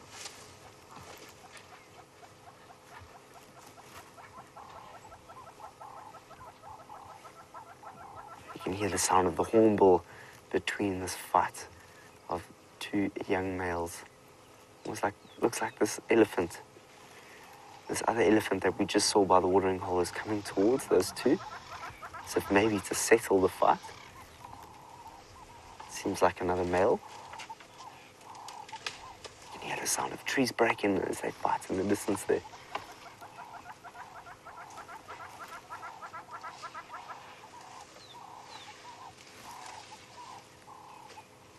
There's a lot, quite a bit of tension between these two elephants.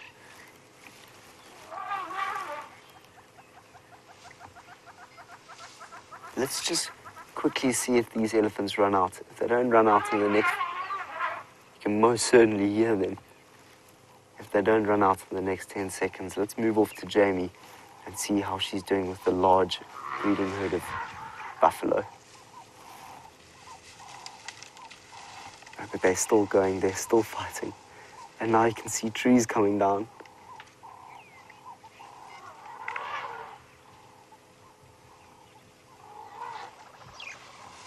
It's just so worthwhile watching this fight now move off into these thicker areas now with trees falling down and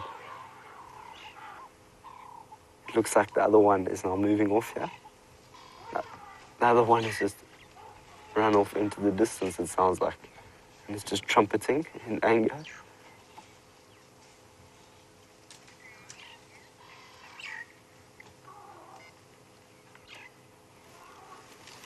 Can still hear the trumpeting of one of those.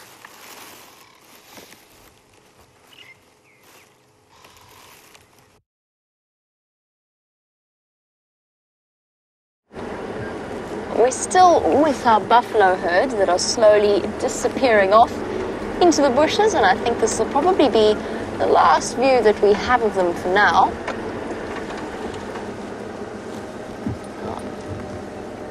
We sit here for the moment, I do know that are due to have a school join us on the back of the vehicle. I'm not sure whether or not they have arrived yet or not. We'll just enjoy a little bit of a moment with the buffalo herd not a subtle thing, the sound of buffalo moving through the bushes. It's not a quiet animal, as it were, a buffalo herd of a good 300 individuals. Very, very noisy. We're going to try one more time just to reposition so that we can have a better look at them, just because it really is a lovely large herd.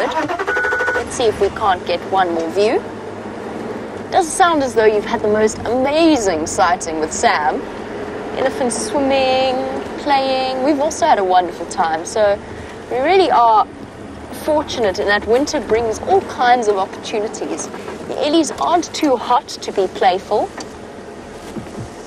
And they even, but warm enough that they want to go for a swim every now and again. Definitely, definitely something very exciting to experience. Uh, pick a general direction, buffalo herd. Which way are you going?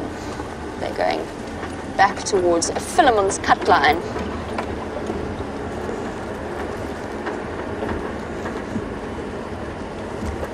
We spoke about the little baby buffalo that we saw, and I said it must be a scary experience being a tiny little buffalo in a very, very big herd.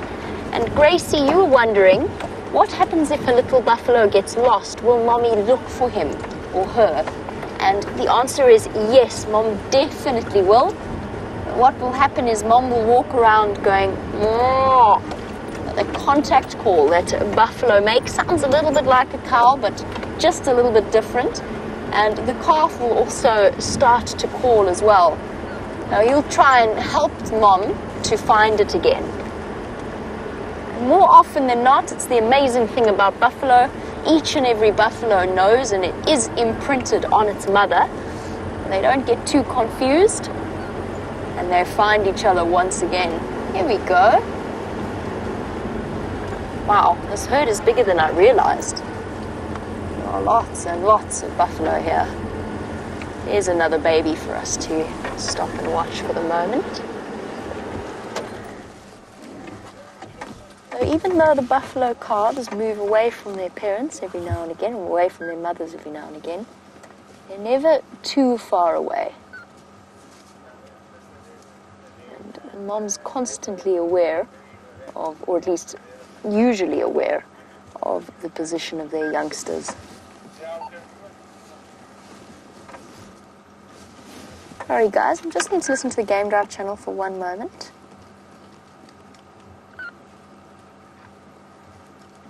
Oh, it's all gone quiet again. A typical breeding season for a buffalo is around January to March, even right extending into April, that you will get new births of calves. This is a little sub-adult male, probably was born last year sometime. At this point, mom could well be pregnant once again and he finds himself all on his own. Hard to believe when you see a buffalo like this.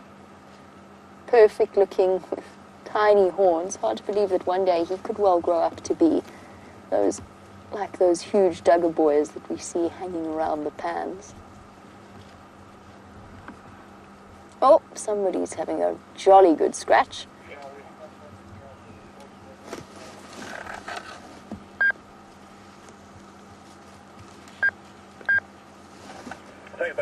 Crossing.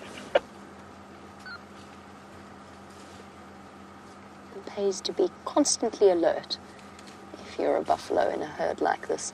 It's always interesting to watch just how jumpy they are as well.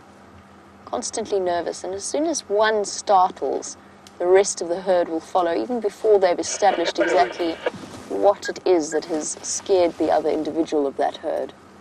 Oh, don't go looking for milk there, little one. You'll get a kick. This big buffalo bull, I've been watching him for a while now. He's casting about, looking for any potential mating opportunities he could have with any of the females. Now he's gone up and sniffed each and every female that has been in his vicinity. He even tried to mount one of them earlier.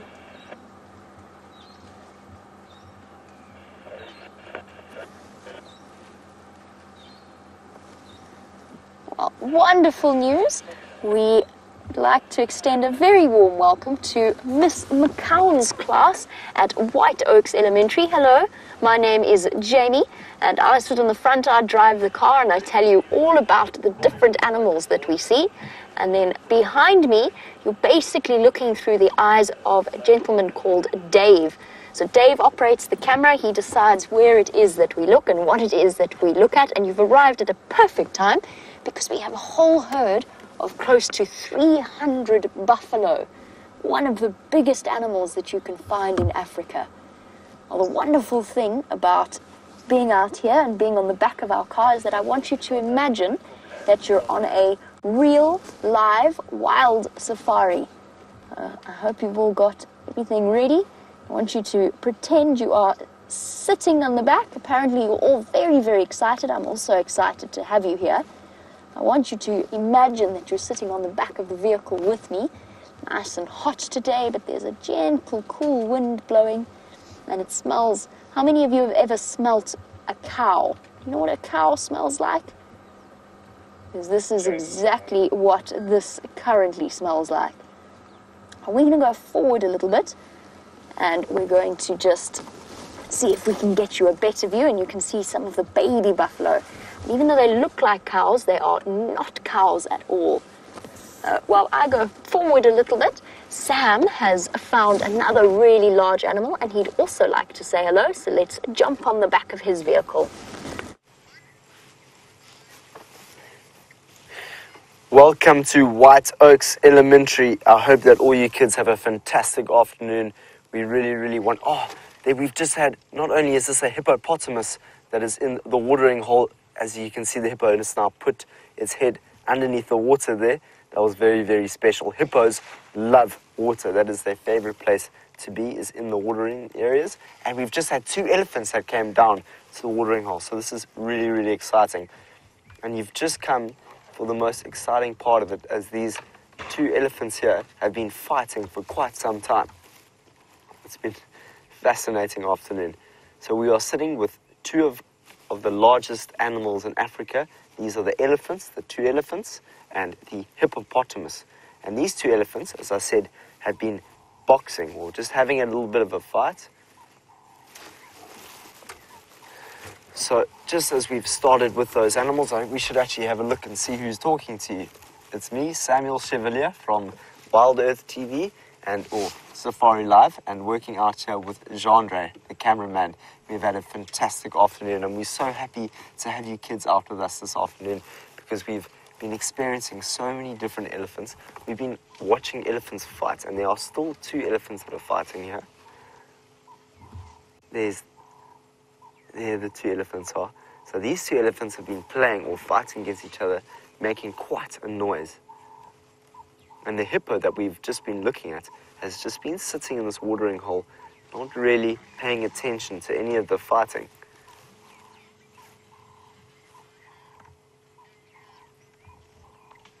Asia Lee would like to know how many teeth does a hippo have?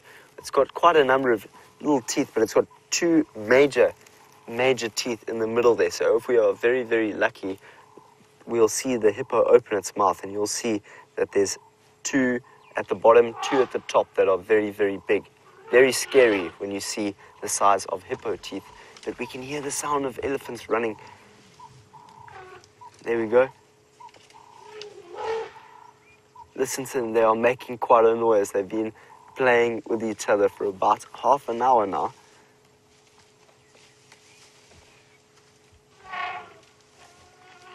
Can you hear the sound?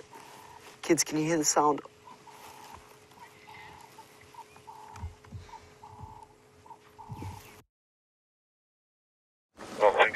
Well, still with our buffalo, standing on a termite mound. Aren't they incredible animals? Absolutely enormous. So one of these boys, how many of you are there in the classroom? Let me see. Are there 20 of you? Are there more than that? We can find out how many there are of you. Even if there were 50 of you, this buffalo would probably weigh more than all of you put together. He's close to 2,000 pounds in weight, just under 2,000 pounds. He's absolutely enormous. And this is just a young male. Now, I said that they kind of look like cows, but they're definitely not. They're totally wild animals. And they can be very dangerous, but not to us and not here in the car. See those big, heavy horns? Those are made of solid bone. Just above his eye there, that's all bone, and that's for the males, that's so that they can fight each other. They often headbutt each other to fight over access to the ladies. There you go. Apparently, there's 15 of you in the class at the moment. So even if you all stood all together and stood on a scale, you would still weigh much, much less than this buffalo. He weighs close to, not quite, but close to what our car weighs with myself and Dave on the back. Now, there's an even bigger animal out here, and back across to Sam and his elephants.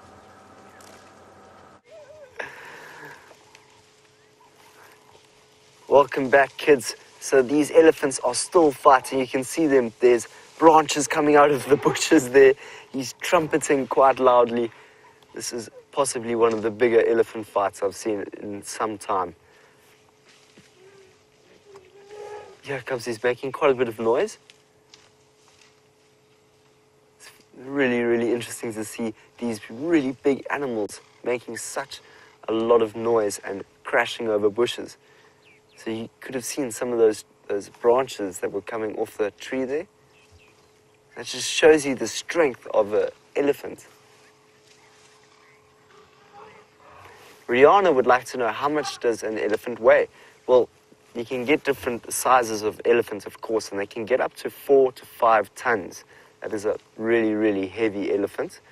But these elephants that we're looking at now is probably about one to two tons. They're young males that are having a little bit of, looks like they're having a little fight. But they've been fighting for quite some time now, which is quite interesting. But here we are with a hippo that's just in front of us. Did you see that water that just spurted out of that hippo over there? Isn't that cool?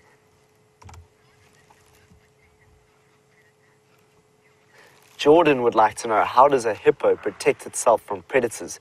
Jordan, if you can see this elephant, I mean, this, wow, look at that.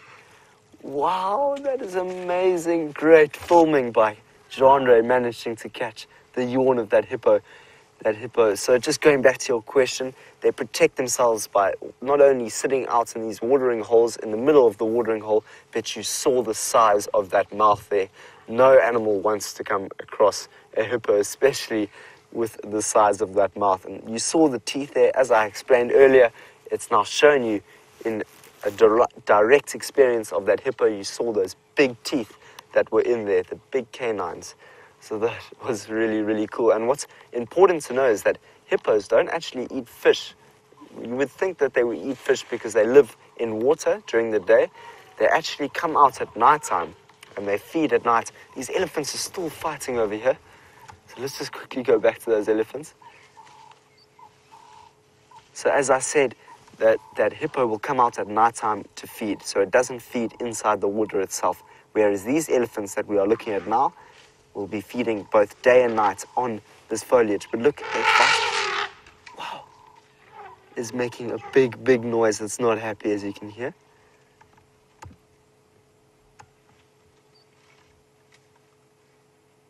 That was that was very, very cool. There's so much going down by the watering hole. We were so lucky to see that hippo open its mouth. It's actually the first time I've seen a hippo open it, opening its mouth here on Djuma. I've seen it before a couple times, but to see it here was a very, very big privilege. Hope some people managed to get it. You guys managed to get a picture of that or screenshot on your computers.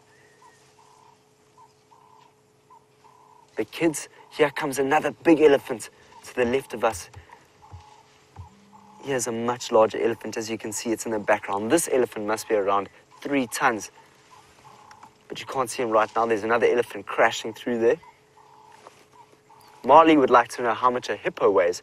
Marley, also a couple tons. Well, this, this hippo that's in the watering hole here must be around two to three tons. A very, very heavy male, and the males will occupy this watering hole. So they, we're looking at two of the heaviest animals, both the elephant and the hippo, which is very cool. Also the buffalo that you've probably just seen with Jamie is with a buffalo. So three of the big five of Africa. We are so lucky to be seeing all of this. And this one elephant that we're about to see now must be one of the bigger ones that we've seen all afternoon. It's a big male elephant. It's got big tusks. Have a look at those tusks. The tusks are those two things coming out by its long trunk there.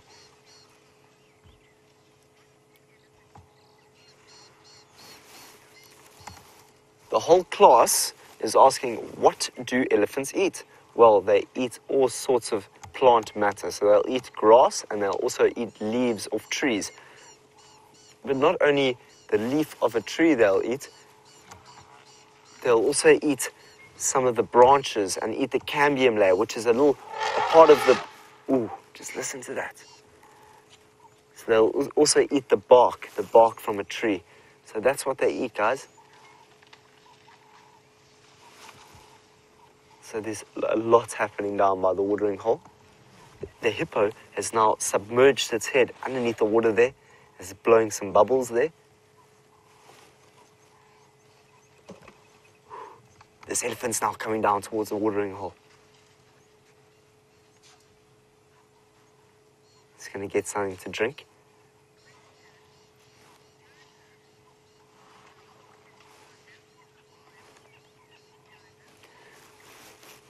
Joseph would like to know how long will hippo live in the wild for?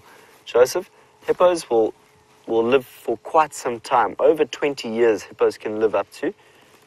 You can see them as they get a little bit older. You can notice the difference between an old hippo and a young hippo.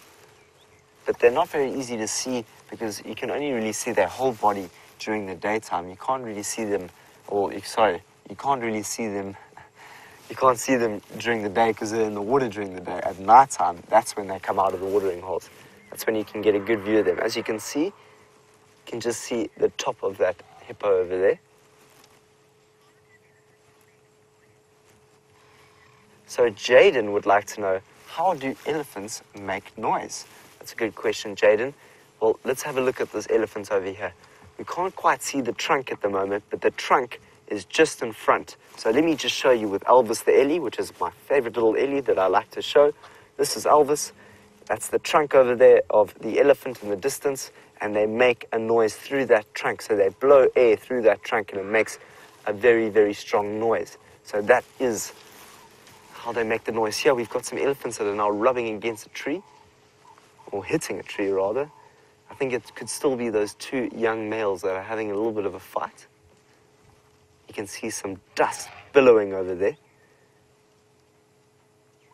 If we're lucky, what are they going to do? They're going to come out into the open areas. Let's see how that might interact with this big elephant that's here.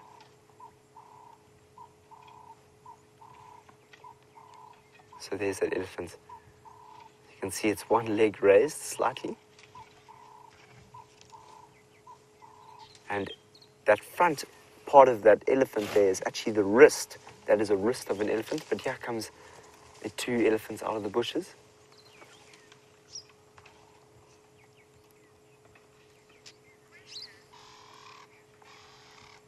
Wow.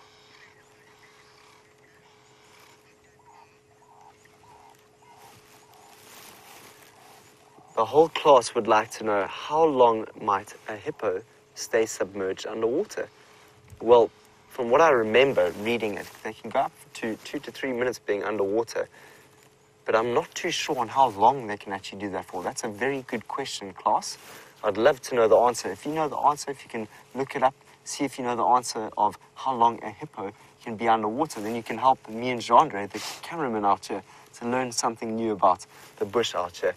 I'm not actually so sure how long they can spend time under the water there. Very cool. But I, I'm guessing they can go probably around two to three minutes. You can still hear the sounds of those elephants.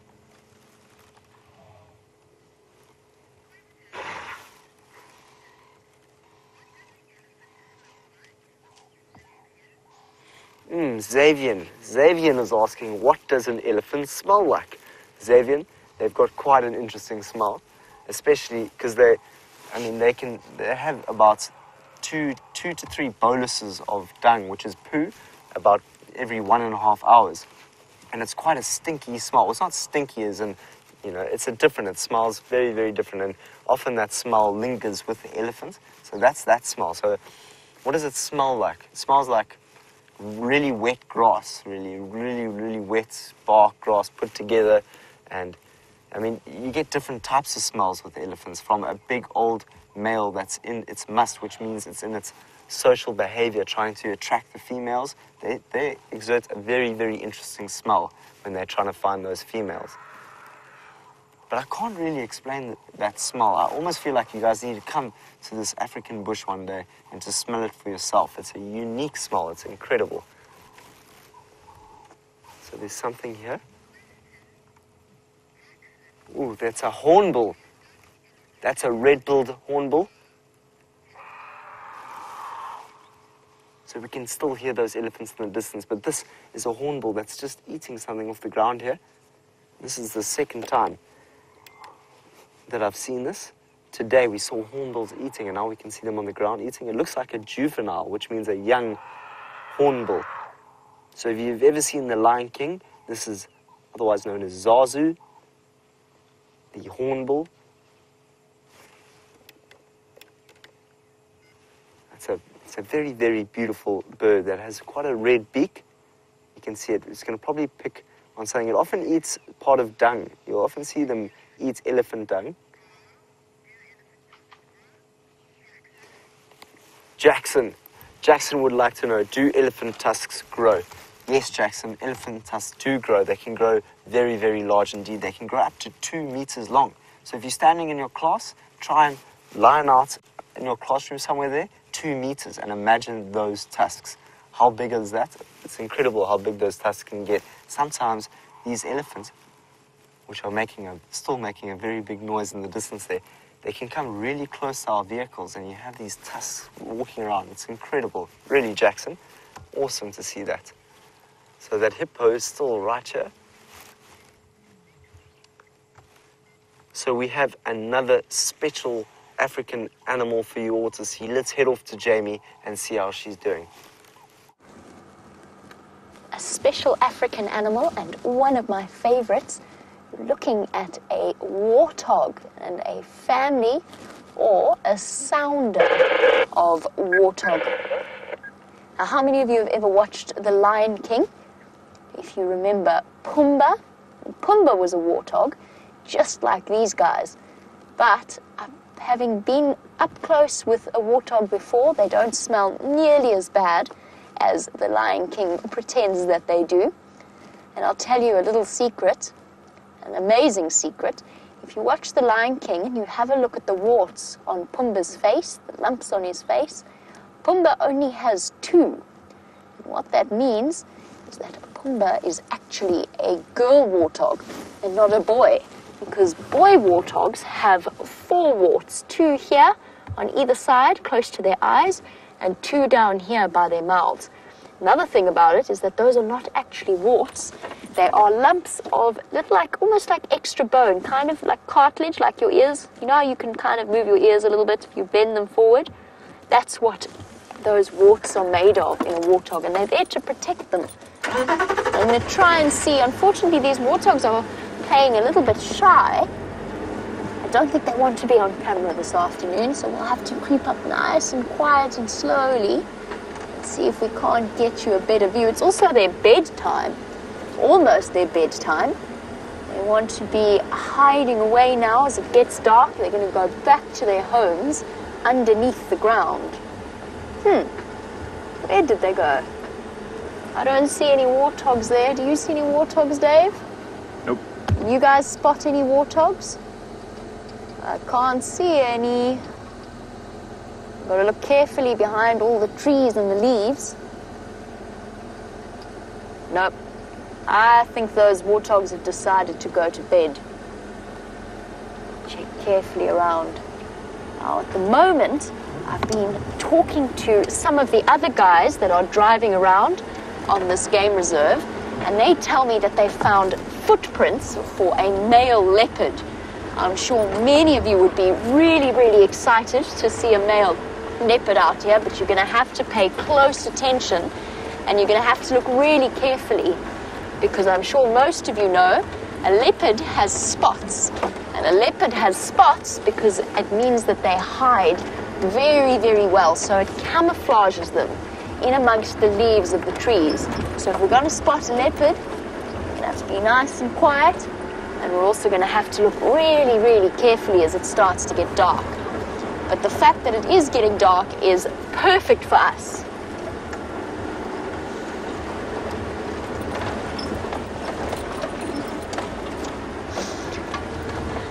As we go through here and we look for leopards, you've been watching elephants with Sam. Now, elephants are probably my favorite, one of my favorite animals, if not my favorite animal. And you want to know when are elephant babies born? So when, what season is an elephant calf born? And the answer is they don't actually have a strict breeding time. So a mommy elephant can have a baby elephant at any time of the year, but there's usually more elephants born in our summer because there's more rain. And more rain means there's more food for the mommy to eat, and therefore the better she can feed her little baby. I'll tell you another amazing thing. You know how if a human being has a baby, they're pregnant for nine months. That's a whole nine months that it takes to create a human baby. Or elephants, it's more than twice that. An elephant is pregnant for nearly two years. So it takes an elephant two years to make a baby. Isn't that incredible? Doesn't that seem like a really long time? It's 22 months of a mom's life. Uh, during that time, she's got to feed both herself and her baby.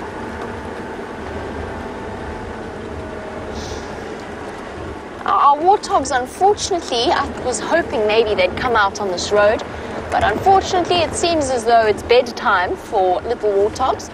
But you will want to know how much does a adult warthog weigh? And a big adult warthog, a really big adult warthog, can be up to 80 kilograms, which is huge. They don't look that big. They're quite short animals. I mean, they only would maybe come up to about my knees, and I'm not a very tall person. Maybe about that tall. If you all stretch out your arms one to the other, that's about as tall as a warthog is. Sorry, Dave, I know that's not very convenient.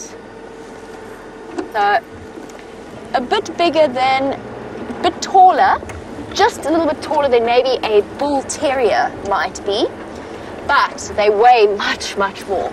So, a, an adult male warthog could weigh up to 80 kilograms. In pounds, for you guys, that is close to 200 pounds. Much heavier than all of you. Really, really big warthog. And they can also be quite strong, very, very strong. You know those tusks that they have that curve out out of their face? Well, they've also got tusks on the bottom. And those tusks on the bottom are the ones that you need to watch out for because they're really, really sharp.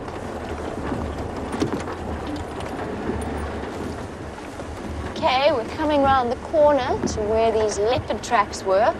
But keep your eyes peeled. This is the perfect spot for a leopard to hide. They really like these deep ditches where a where they can hide and be stealthy because a leopard likes to be secretive. So while we search for our leopard and the sun starts to set, let's go back across to Sam so he can tell you the show you the beautiful view that he has.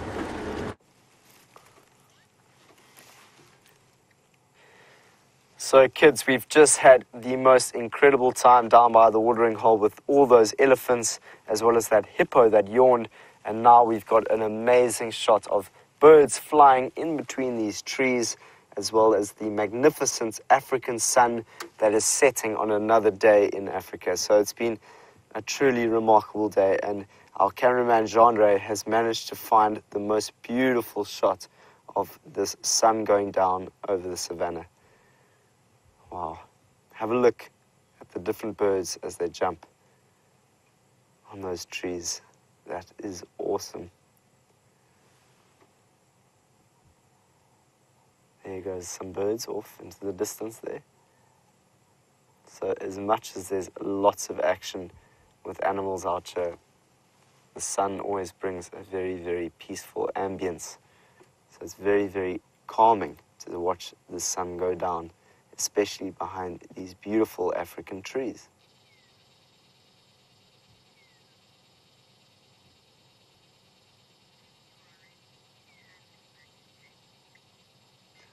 So that's an incredible, incredible shot of the sun moving down this evening. And let's just think about how cool it was to watch those elephants playing and that hippo yawning And we are now off to go and see if we can find some lions that we saw earlier. So hopefully, myself and Jean will drive down and locate and find you some lions. But in the meantime, let's head off to Jamie and see how Jamie is doing while the sun sets. So while Sam goes off looking for lions, I've found a really incredible tree. And I'm going to jump out so that I can show you it properly. Just unplug myself from all the cables. So this type of tree is called a tambuti tree. Oh, better check that there's nothing hiding behind it before I go wandering off. What I'm going to do is I'm going to show you something really interesting. Now, I'm being very careful not to touch this stuff. Okay, we're going to have a close look. Can you see the white stuff on the end there, Dave? Almost. Yeah, there we go. There we go. You see this? This white liquid, it's called latex. And for people, it's really, really poisonous. So we cannot, I don't even want to touch it and touch my eyes. So it's important to remember that whilst some, some plants are really friendly out here, some are really not. And this particular type is absolutely not. It'll make you feel really very sick. But what's amazing is that some animals can actually just eat this plant. It's only people and certain monkeys that it's poisonous to. So I'm going to put, I'm being very careful and I will wash my hands after I've touched this. But I'm going to put this back. Oh, it's so poisonous that you can't even make a fire using a tambuti's firewood. People have made fire before and picked up sticks by mistake, and those sticks have turned out to have come from a tambuti, and it makes them feel incredibly ill. Oops, I forgot that I can't do that, sorry. There's a special order. I can't plug myself in without opening the door first. Important to remember that out here, some trees can be very poisonous. Elephants, on the other hand, absolutely love to eat these trees, and they're really important to the ecosystem. So, what they do is they serve a very important purpose in holding soil in place so that the soil doesn't wash away when it rains. And then, if I look carefully somewhere here, I think we're almost at the end of their fruiting season. We've got other trees that you can actually eat the fruit of if you get hungry. Uh, Just like this one, it doesn't have fruit at the moment, but this is a guarri bush. And a guarri bush is the perfect snack food. I'm going to send you back over to Sam. He's got something interesting. We have just found, found some honey badgers on the show this evening. There, there it is. Awesome, there's two there. There's two honey badgers. I'm gonna stop there. Awesome, this is the first time I'm seeing one. Go back, go back, go back. Let's go back a bit.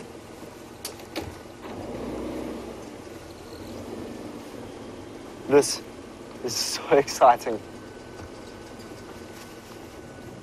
Stop, stop. There they are. I'm just going to reverse a little bit more. You can see the one in the background walking there. That's one honey badger. That's another there. Looks like it's.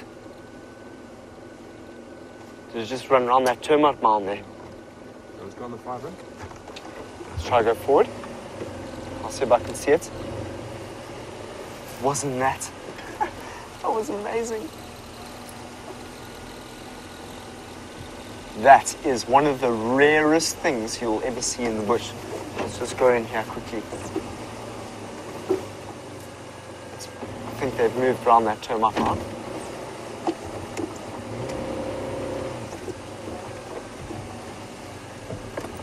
That was, let me just switch off here and wait a few seconds to see if they come back. That was amazing. Two honey badgers. We saw two honey badgers. Now, they are very, very strong animals.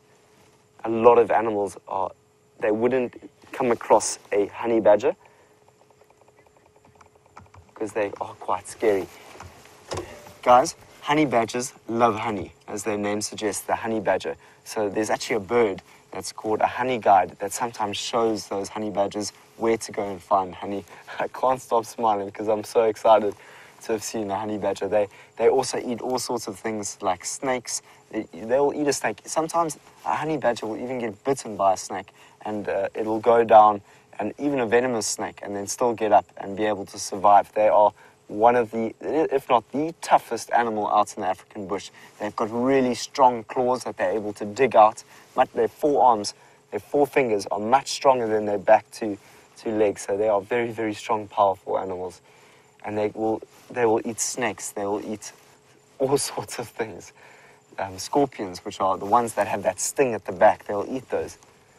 So that was just magnificent. We're going to go and see if we can find those honey badgers again. It'll be so worthwhile having another look.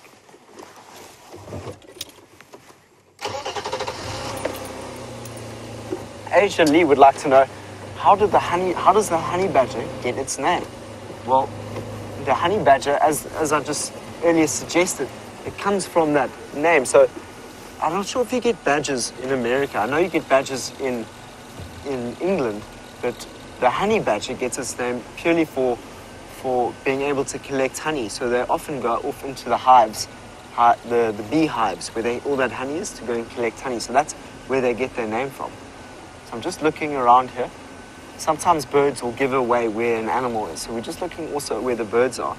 Because they might just give away where those honey badgers have gone to. Kids, this is one of the most exciting days of my life. I've only ever seen a honey badger once. And now we saw two. We saw two honey badgers and we saw it live. That's so cool. So let's reverse a little bit more and see if we can see them. It looks like they've just run into the thicket there.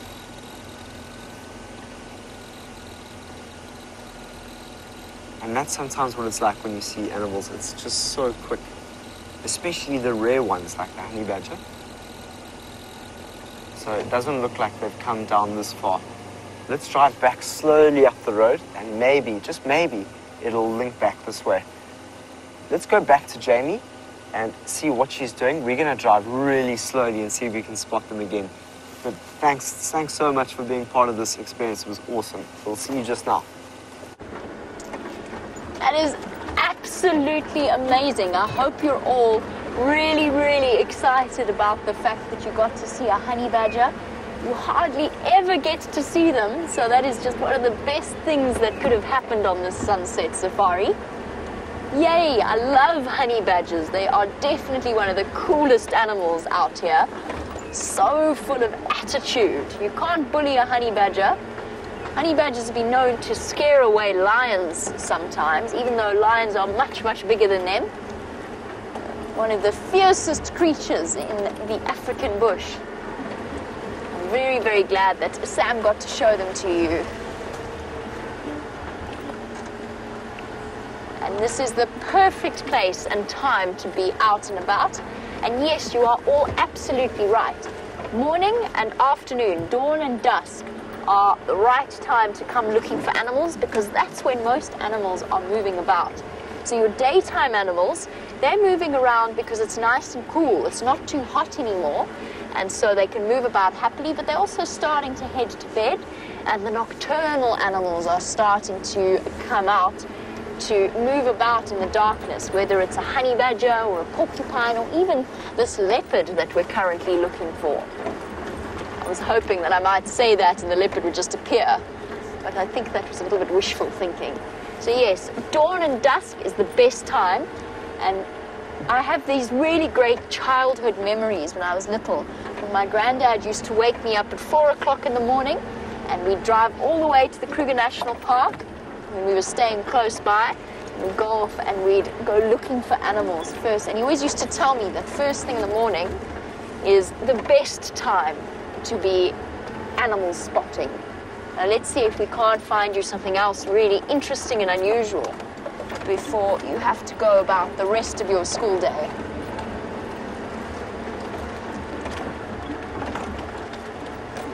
I was, before Sam spotted the honey badger, I was telling you all about a leopard's favorite habitat.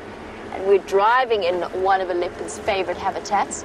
Lots of very, very thick vegetation areas where a leopard can creep about and hide away. And I think that the male leopard that we're looking for is a leopard called Tingana. And Tingana is one of the biggest leopards I have ever seen. He's absolutely enormous. He's got a, a huge head, and his neck is so thick that it looks like he doesn't have a neck at all. It just kind of looks like his head sits on his shoulders. Beautiful big male, and he defends this whole area. He keeps other males away, other big males, and he keeps the females within his territory, and he can have lots of different females. He keeps them and their babies nice and safe. That's the way that a leopard works, all on their own and keeping territories to themselves. Quite a lonely life as a leopard, but they like to be alone. That's their favorite thing.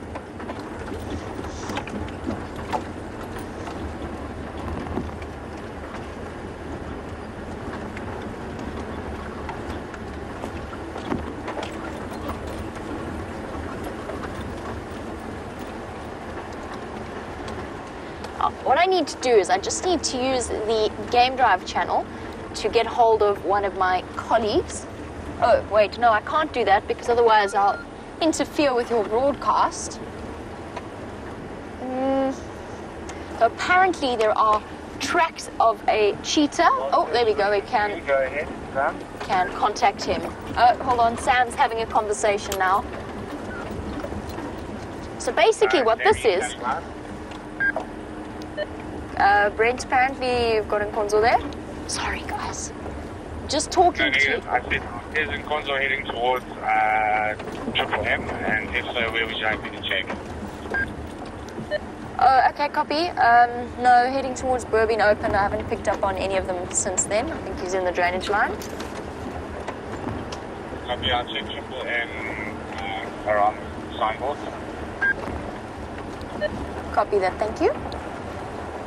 Okay, so what I was doing there was just making plans with somebody else who works here, whose name is Brent, and he's helping us follow up on the tracks of the leopard.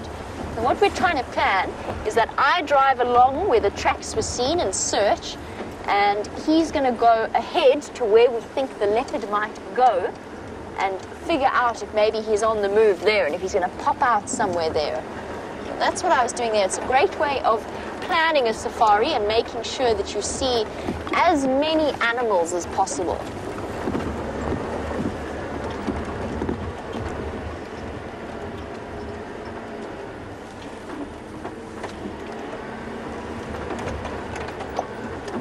Unfortunately, no sign of this leopard. and it's getting a little bit cold even here in Africa. It does get a bit chilly at night time in midwinter. Hold on, sorry, I've got to check the check the ground for footprints. But nope, no sign of him coming through here. Just lots and lots of elephant tracks like the ones that you were watching with Sam. Now here's an interesting story. Hold on a second, I'm going to just change the position of the car ever so slightly. I've just found an, an animal's bedroom. A place where an animal likes to sleep. There's a, there we go, it's that big open patch of sand there. And this is a wildebeest's home. You can see how all of the ground is all flattened and where he has deposited his dung, so where he's pooped, that's actually his bedroom, and that's where he spends a lot of time sleeping, either during the day or at night. This, I know, would belong to a male wildebeest. And a wildebeest is, looks sort of like a type of cow, but isn't quite. It's actually a type of antelope, which is, an antelope is an African type of deer. Now I'm going to hop out for a second and I'm going to do something kind of gross, but I want to show you the type of poo that a wildebeest leaves behind. I'm going to bring it to you. It's, it's very dry. It's actually quite old. Now, it's really important to remember that you mustn't touch. Oh, I think there's buffalo hiding somewhere there. There's all kinds of birds flying off them. So you mustn't touch poo unless an adult says that it's okay. But I want to show you the inside of this wildebeest's poo. And you can see what type of stuff it eats. That's kind of gross, but it's also kind of interesting. And that is just grass. But unlike the elephants that you saw with Sam, the wildebeest has four different stomachs. So this grass has passed through four different stomachs before it came out the other end. And that's why it's really nice and well digested and actually quite smooth. That's a bit gross. I know it's a bit gross, but it's a good way of, of experiencing the African bush. Well, I'm going to say goodbye to the wonderful class from White Oaks. I hope you had a wonderful time and that you enjoy the rest of your school day. And hopefully, we'll catch you again on one of our safaris. Bye bye, everyone.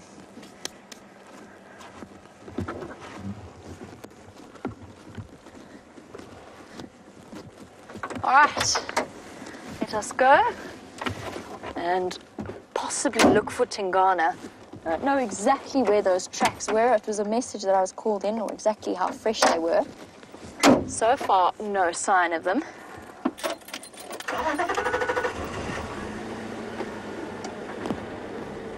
Oh. It's been a while since we've sawn. Sawn? Sawn is definitely not a word. Sawn is so, so not a word. Yeah, where did you get that English? I think we- Been a while since we have seen. Sorry. Another Game Drive channel update. Yeah, it's just right near the front house. Oh, We want to keep it calm, man. nope, not for us. Outside of our Traverse area, I'm not sure which leopard sighting they've just called in.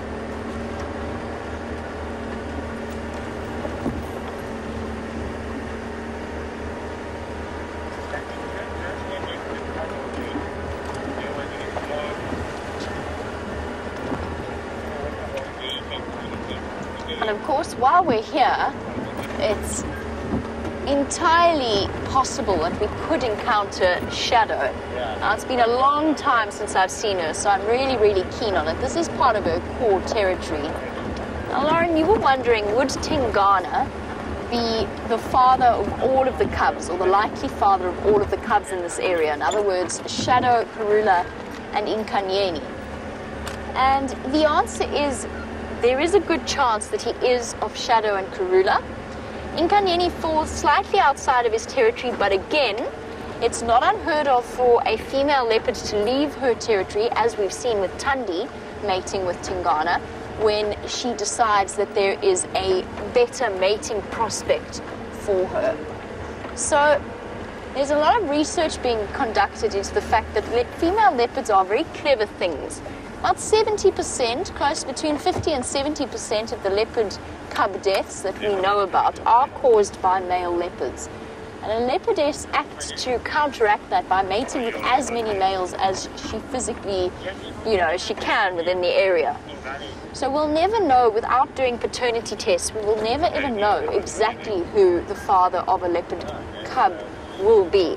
We can we can compare genetic likenesses and we can sort of maybe guess at who it might be. And he would there is a good chance that he is the father of Shadow and Karula's cubs. We've seen him mating with both of them on a couple of different occasions. Now that one thing that we've been participating in recently is every time we see a leopard defecate, so when we know which leopard that is, or if it's an unknown leopard, but particularly when we know which leopard that is, then we go and we collect the scat sample. So we go and collect the, the scat, the poo, and we put it in a vial and we send that off as part of a huge study to Panthera. And Panthera is currently conducting enormous studies into the paternity of different leopard cubs. And it'll be amazing when we do get access and we do get to read those results. And we'll be able to tell exactly who the fathers are of each cubs. I know that many viewers have suggested that Shimbam, Shimbam is the father of Nkanyeni's cubs, which is entirely possible. We just don't know, and it'll be wonderful to when we have, when we do have access to the scientific evidence. I'm going to head back towards quarantine in the last-ditched hope that maybe that cheetah has popped out there. While I do, let's find out how Sam's amazing day is going.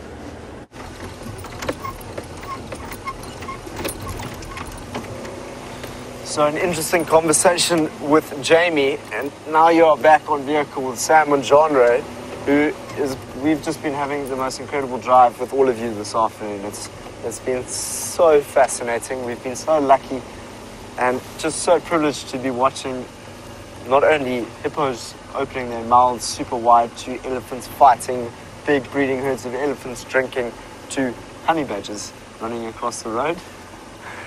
Uh, yeah, I, will smile for quite some time. What else could possibly happen? I, I don't know. We went to go see if those lions were there. We saw, we saw lions earlier.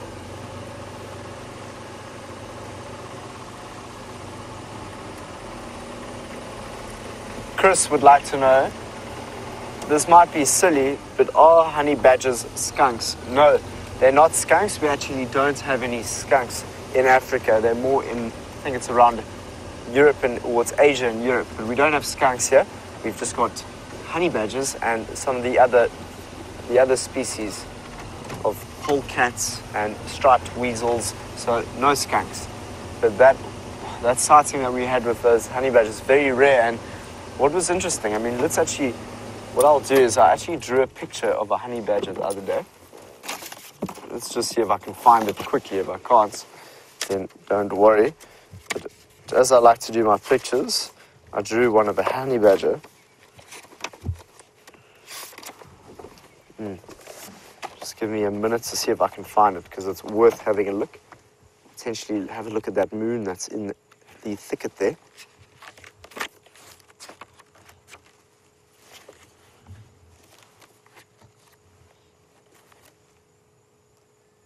So there is that beautiful moon. Right. So I did I do have one picture here. We'll come to it now. Look how incredible this camera is and how good at the filming Jandre is. You can really pick up all the different things. Look at that. You can see the craters in the moon. And the moon is starting to get fuller and fuller. You can just see that there's one last edge left of it over there.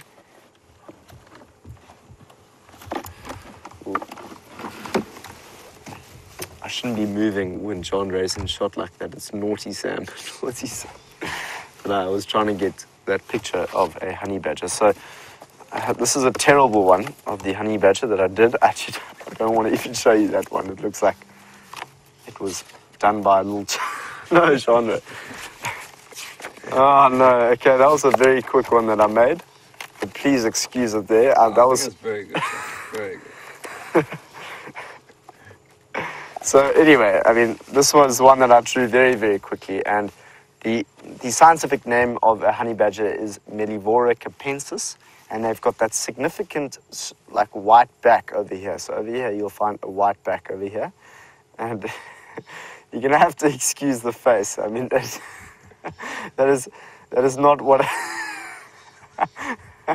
That's very embarrassing, actually. I just can I take that away, please, John? All right, all right, hold, hold this off. okay. Screen grabs, everyone. Okay, okay.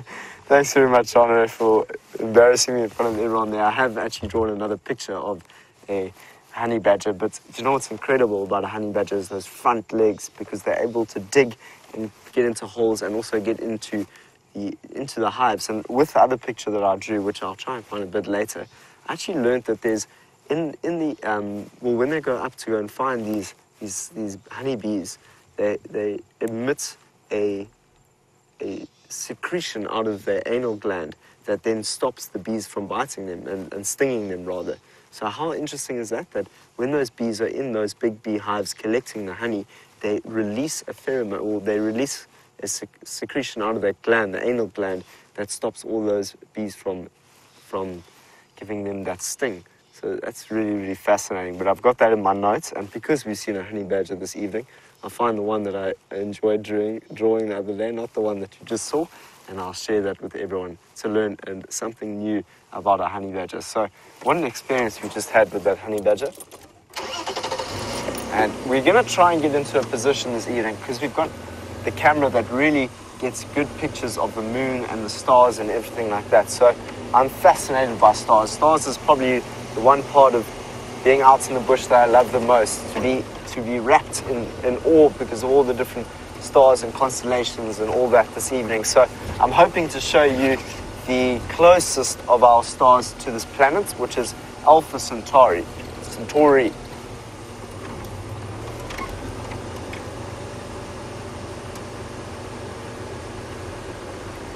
Cindy from Tennessee is asking, I wonder how common it is to see honey badgers in pairs.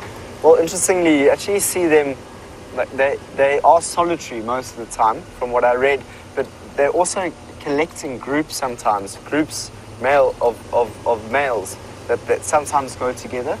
Um, but that is, it's a good question that of, of how they move together. Of course, when they are mating, the female and the male will be together. So that could very well have been a female and a male that were mating, that were together, that we saw. Because both of them were quite large, her genre, they were quite large. I'm sure you guys will agree with me. So that would very well have been a, a male and feel, female honey badger. But I've got so much to learn about them. I've only ever seen them once before. So I'm excited to do a little bit more research and, and study more about the honey badger and its, and its, uh, its, its, its way of life, really. And it's, uh, the, the sci- scientific name, as I said, is Mellivora capensis. Mellivora capensis.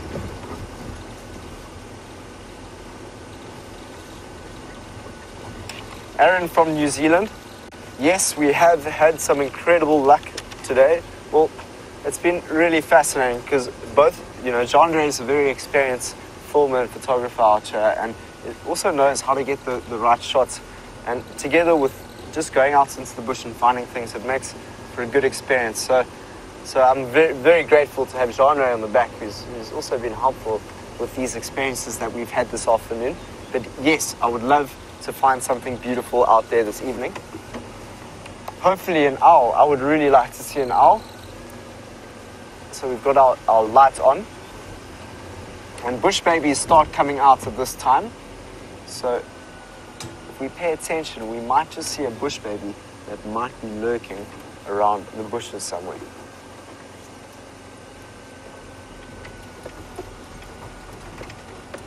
We could even potentially see some more hyena activity.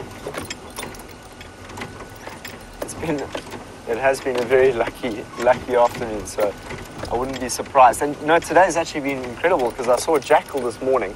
We didn't see it live because we were down by Buffelshoek, and next thing I knew, it was gone. So, so we're going to carry on in this direction and see what we might be able to find. Hopefully, we can find something that's incredible that will bring some more luck to our evening. But let's go and find out how Jamie is doing. Oh, what an absolutely wonderful afternoon Sam has had. I could not be more thrilled for him. It's afternoons like this that really. Uh, I mean, there's always the wonder, there's always that sense of wonder whenever you drive around in the bush. But to have a day like Sam has had comes around every now and again and is just so special and refreshing. And that honey badger sighting just sounded absolutely incredible. But to know that we can look forward to more sightings like that in the next few months as we go head into the deepest, darkest, coldest days of our winter season is also an exceptionally exciting prospect. And what I'm doing now, apart from trying to follow up on that the tracks of that cheetah and just to see if it hasn't popped out somewhere here. Obviously, because it's a daytime animal, it's a diurnal animal, we won't be spotlighting it, but we could spot its tracks and it might give us a possibility to as to where to start searching for it in the morning. That being said, this is one of the best roads for nocturnal animals. I've seen porcupine tracks, honey badger tracks, civet, aardvark tracks all around here. Uh, that's what we are searching for as we go deeper into our evening. A little bit chilly, and of course, any lions following that buffalo herd. There's a point I completely forgot about. think it was just a duiker. Sorry, we're going back a bit.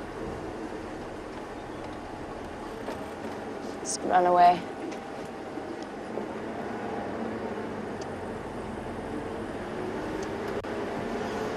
A really, really fantastic question from Jilly in York. Uh, and York, by the way, is one of my favourite cities in the UK. I really, really enjoyed York when I paid a visit there. You were wondering why it is that birds will alarm call at a predator like a lion when a lion clearly isn't really a threat to them, or are they just helping to warn other animals? And it's that's a really good question because it's one that I don't know the exact answer to, and it's kind of up to you to make up your mind. And there would have been a time, instinctively, and a, and a leopard, of course, is a threat to a bird, although very, very seldom will a leopard waste its energy chasing one of the smaller passerines like a go-away bird. But it could be that they don't necessarily identify between the shapes. Personally, I don't entirely buy that as an explanation. I don't think that it's just an instinctive response to a prior threat. I think there is a good chance that they are acting to warn other animals. In the same way that monkeys will go right up to the top of the thinnest branches of a tree away from a leopard and then continue to alarm call even when the leopard has gone past.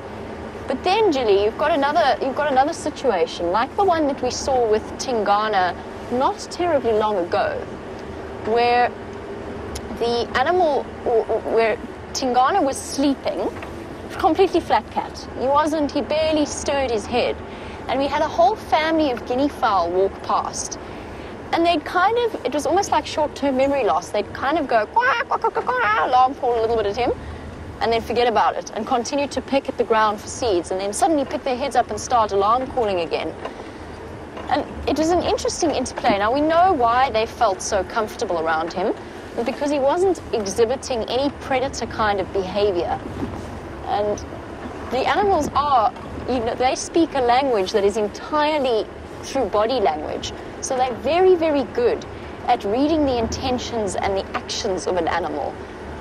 They will only alarm call when something is showing predatory behavior. Why? long after that bird, that bird of prey this afternoon had killed something. Had killed, I don't know what it had killed. It was some, I think it was a francolin, I'm fairly certain. It was something feathered, either way. And it was on the ground feeding. It was obviously the kill was a little bit too big for it to fly up and to perch itself securely. Why did the go away birds continue to alarm call for a good 45 minutes after that bird of prey made its kill? What provoked that response?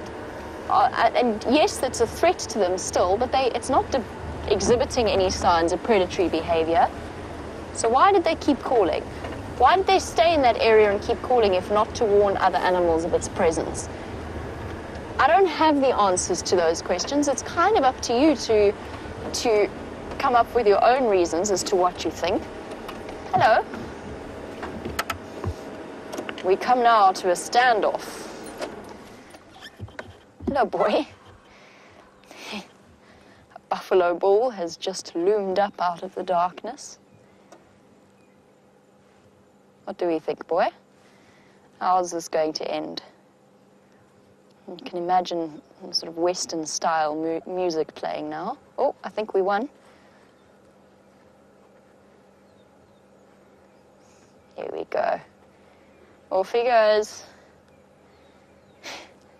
I am, of course, joking. There's no way that he was ever going to be a threat to the car. He has now very kindly. Well, we're going. Which which way do we, would we like to go, boy? Let's take our opportunity now while he's off the road. I don't like pushing animals off the road, especially since it's their home. Hello, boy.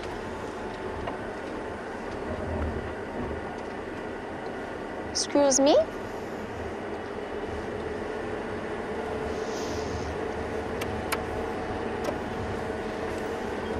While we talk about the incredible different behaviors of our various animals, Darlene, in New Hampshire, you were wondering about, because I mentioned earlier, about the fact that cheetah mums will catch prey and then bring it back still alive to their cubs to help them hone their hunting skills. And you were wondering if lions and leopards will do the same thing.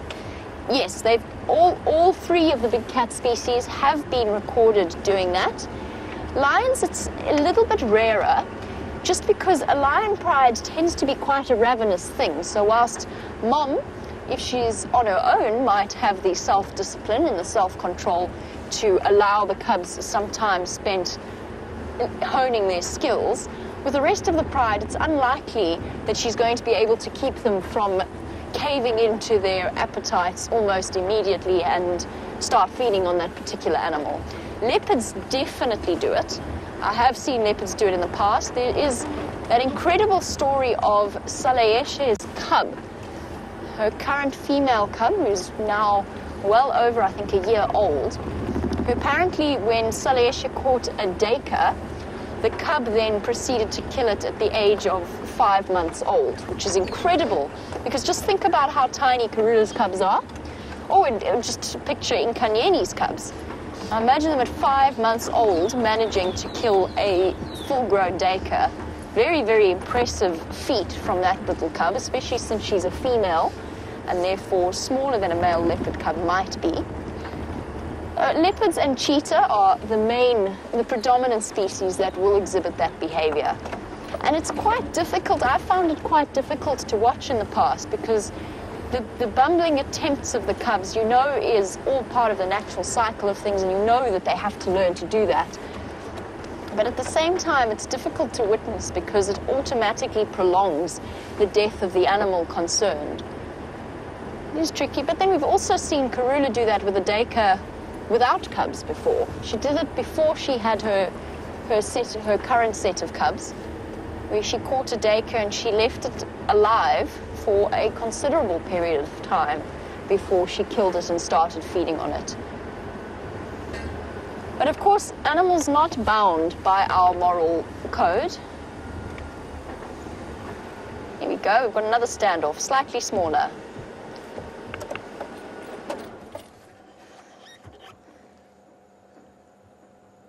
Nightjar.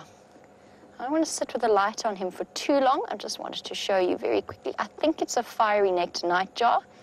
They are exceptionally tricky to tell the difference between all of them, but this sort of size and this sort of behavior almost inevitably indicates a fiery neck. They're the most common. Okay, I'm going to take the spotlight off him now, just to allow him to fly away. They love the roads and they particularly love the roads in winter time. Here he's gone. It's a great place for flying about unimpeded by trees and catching insects, and it's also nice and warm because the roads have been absorbing the heat from the sun all day without shade from trees. Now, Aaron's also asked a really brilliant question about why it is that lions have evolved to be have a social structure more like wolves than and so unlike any other cat. And it's a, it's an interesting one. I mean, it's not quite wolves because you don't have that alpha pack system, but you you are absolutely correct in that most cats are solitary hunters. Lions are one of the very few big cat social predators. Now, the best answer and the best theory that I've read about, and it's up to you to decide whether or not you completely buy into this or whether you can think of another explanation, but it's part of their evolutionary history, and lions evolved around the same time as human beings started to develop their, their skills as one of the most well-developed primates. And that combined with the structure or the social structure of a hyena clan, which is the other dominant nocturnal predator of this area. Now, these, the three species, humans, lions, and hyenas, have all evolved together.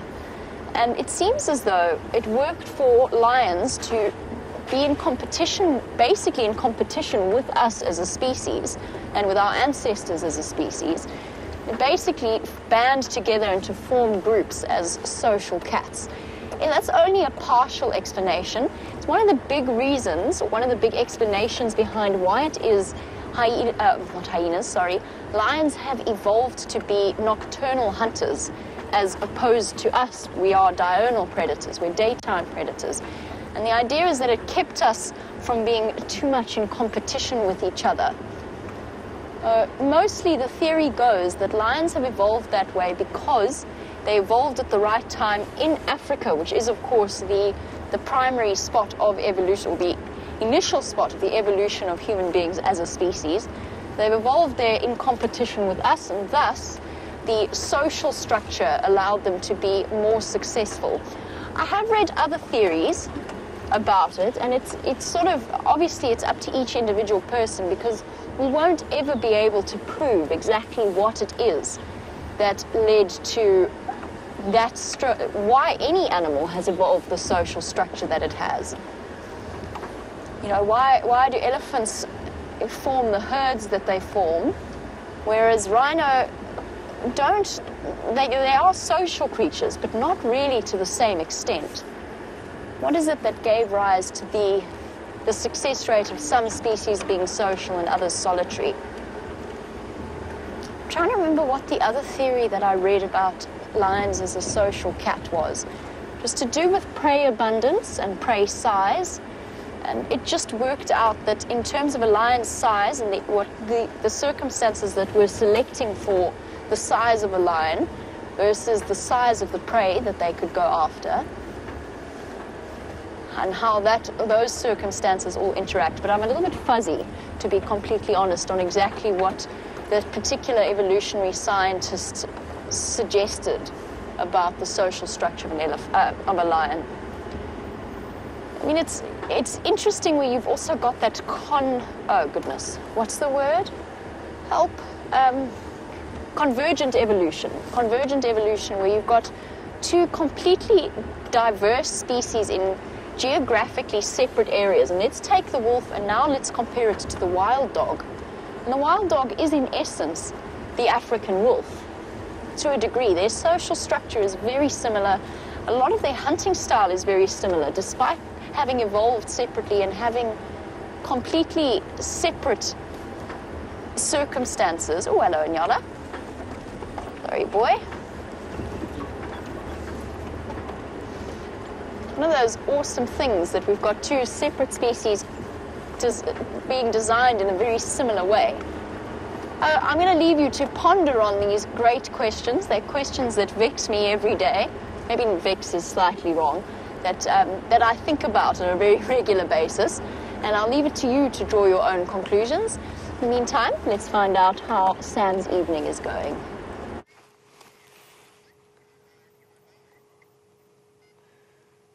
So we are back with the moon after a fantastic drive, and we thought that we would just stop and look at that beauty of the moon. It is starting to get fuller and fuller in the sky. You can see some of the dark patches of the moon, as well as some of the craters that are quite significant around it. And you can notice it's quite a yellowish, kind of white yellowish glow, this beautiful moon. And we can only see one side of the moon all the time. So we often talk about the dark side of the moon, and that's on the other side of this moon. So we're just experiencing the one side of the moon all the time. And if you look clear, carefully, you'll be able to see that rabbit in the moon that we often talk about. Sometimes you have the, you can't, it's not as easy to see, but if you look carefully, you can see that rabbit with the two ears over there. And I love just looking up at, at the moon whenever I have an opportunity to do so. And it just changes the whole dynamic of the bush out here. You can imagine all the animals wake up to the sound or to the to the to the glowing glow of this moon around the bush. And it, allows for all the animals to wake up and look around. It's, it's an incredible, incredible time. And while we've just sat with the moon, let's go and look at a planet that is out in the solar system. It's one of our closest planets to this to this Earth. It's red, as you can see over there. If we get nice and close, it's the closest we can get to this planet, and that is Mars. So Mars has quite a red tinge to it, as you can see over there, and that is the, the red. It's the dust. There's a red dust on Mars that is then being reflected back all the way back to Earth. So the atmosphere around that planet is quite a lot different to the atmosphere that we have here. We have quite a lot of hydrogen and oxygen in this atmosphere. It's an incredible, incredible star out there. And finally, we're going to have a quick look at Alpha Centauri, which is our closest star to this planet. And it's there it is. So you'll see there, there's Alpha and Beta Centauri. So I think that one over there is Beta Centauri, which is two binary stars. So two stars that are actually follow, going around each other, which is actually the brighter one. And that one's a little bit further away. It just looks brighter because it's two different stars that are orbiting each other. And if you look above it, it is Alpha Centauri, which is part of the pointers of the Southern Cross. So you can't see it as well, but Alpha Centauri, there it is. That's Alpha Centauri. And you can tell it's a star because it's flicking at us. Look at how, do you remember when we were looking at Mars, how it was quite a stable kind of glow? When you're looking at a star, you'll see that it flickers at us, and that's how we tell the difference between a planet and a star. And a planet is a solid mass, whereas a star is a big, big, great ball of gas that is growing. And we have different ages of stars. And the distance of that star to our planet is 3 point, or 4.3 light years away. So the light that we are getting from Alpha Centauri is taking 4.3 years to finally come here. Isn't that incredible when you think about it? How far and how how far these planets are or these stars are around us. And that is just one star, and that's our closest star. And if we wanted to try, I mean, they've done measurements, but the best way to explain the distance is that if we wanted to, to get there, it would take us 25,000 years by a rocket to get to our closest star, Alpha Centauri. So isn't that magical to try and understand that a little bit more, a little bit more about our solar system? And that's just one star. And you know, if you go look out in your night sky and you go and have a look at Scorpio, Scorpio in southern Africa is starting to come up across the eastern horizon this evening, whereas Orion is setting on that side, on our western boundaries over there. And in both of those stars are two, or both of those constellations are two red giants. And those are two stars that are getting to the end of its life. So they're getting bigger and bigger and bigger and bigger. And they start emitting almost like a reddish color. And that is towards the end of, of, of a star's life. And when that star finally gets bigger and bigger, it will explode. But sometimes that explosion will take millions of years just to get to our, to our eyes. So some of these stars could have already blown up already, we just haven't seen it. And that's what's the, that's so magical when you start thinking about how big the universe is and how big everything else is out there. So it's a special thing when you start listening and looking at all the different planets out there. And when, when a planet like a red giant does blow up, it, it turns into a super, so that's a supernova. So that song, song by Oasis, Champagne Supernova. So that's the only way that I really learn about it. And, and that, that's, that's so, that supernova will then eventually turn into a black hole. And then new, new stars will form. And that, that's endless, endless learning when you talk about that. The, the atmospheres, the galaxies, everything that's up there. And I'm fascinated by astro- astronomy and I can't wait to talk more about it with you. But it's been a great game drive this afternoon. We've seen so much. It's been such a pleasure. Thank you, Jean Andre, behind the camera. You've been awesome. I've enjoyed it as well, just as much. And we are very thankful for all the viewers to be with us already for so long doing this drive. And we'll see you tomorrow for the sun, sun, sunrise safari. Let's go and see how Jamie's doing. So we come to the end of another glorious afternoon spent in the African bush with so many magical wonders and mysteries for us. Aaron's question has got me doing some serious thinking at the moment, so I'm, that's what I've been doing while you've been looking at the beautiful night sky with Sam, is just thinking of all of the different and amazing ways in which this place continues to astound us. And I think my favorite thing about it is that I will never ever, none of us, will ever have all of the answers at our fingertips. It's a journey of almost constant discovery. And even then, it's still going to hold multiple mysteries where different people will have different opinions about what is actually going on and the way in which, and the reasons why things happen. And And I think that is probably one of the most exciting things about working in, an, in a wilderness area such as this. The mystery of it makes it all the more exciting. I have a mystery for all of you. Why, at the start of Game Drive, were the monkeys shouting furiously around Galago Pan, you'll have to stay tuned to the Djuma Dam and see whether or not we missed a leopard wandering about there. That would be something highly entertaining. It's been a while since we've seen Tingana. Mvula was last seen around Cheetah Plains. Actually, we just, just missed him the other day. But he's been wandering all over the show, so there's always a chance of a surprise appearance from him. And even as we come to the end of the sunset safari, there's a chance of a surprise white-tailed mongoose sighting or something along those lines.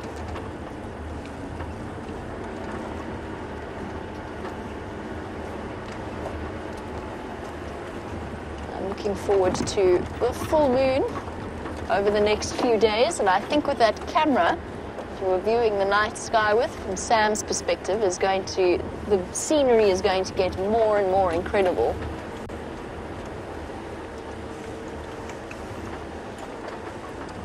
As we wait for the nocturnal mysteries to start unfolding.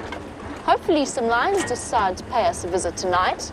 They decide to come walking past Inge's house and calling in the darkness because there's no better feeling than lying safely tucked up in your bed and hearing lions calling right outside your bedroom window. Looks as though there's some eddies having a drink at the pan. Oh, looks as though there's an elephant in front of me. Looks as though there's a lot of eddies in front of me. What a lovely way to finish off our safari. Now, I can't really spotlight them too much. They don't enjoy it very much, so I'm just going to keep a low level of light on them.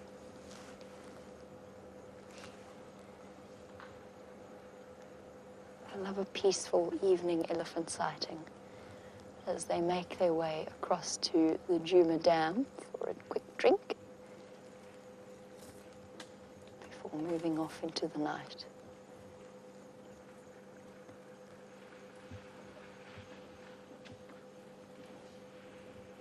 Sometimes it's just lovely to sit and listen to the sounds of an elephant herd moving around you. And I've inadvertently bumbled right into the middle of the herd. You can hear them moving off to the right, to the left, just all around us.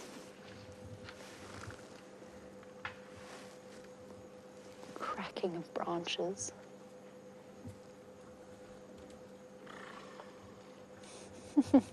and of course, the gentle release of the digestive gases that always accompanies an elephant herd sighting.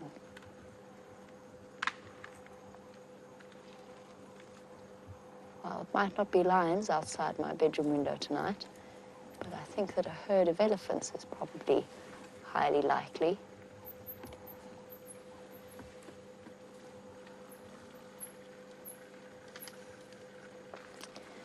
Guests at the lodge, it's the lights that you can see in the distance, they're also going to be going to bed with the sounds of the elephants feeding and occasionally trumpeting. That's awesome. What a wonderful way to end off our sunset safari. So we come now to the end. Thank you very much, Dave, for all of your fantastic camera work, as well as to Lou and to Jerry in Final Control, and most importantly, to all of you across the globe for sending through your questions and your comments and for joining us on the largest safari vehicle on Earth. I'm going to go sidling past this elephant herd on my way home. Hopefully, they decide to be kind enough to let me through. And then we'll be ready to join you once again on the Sunrise Safari. Have a wonderful day, and we'll catch you tomorrow. Bye bye.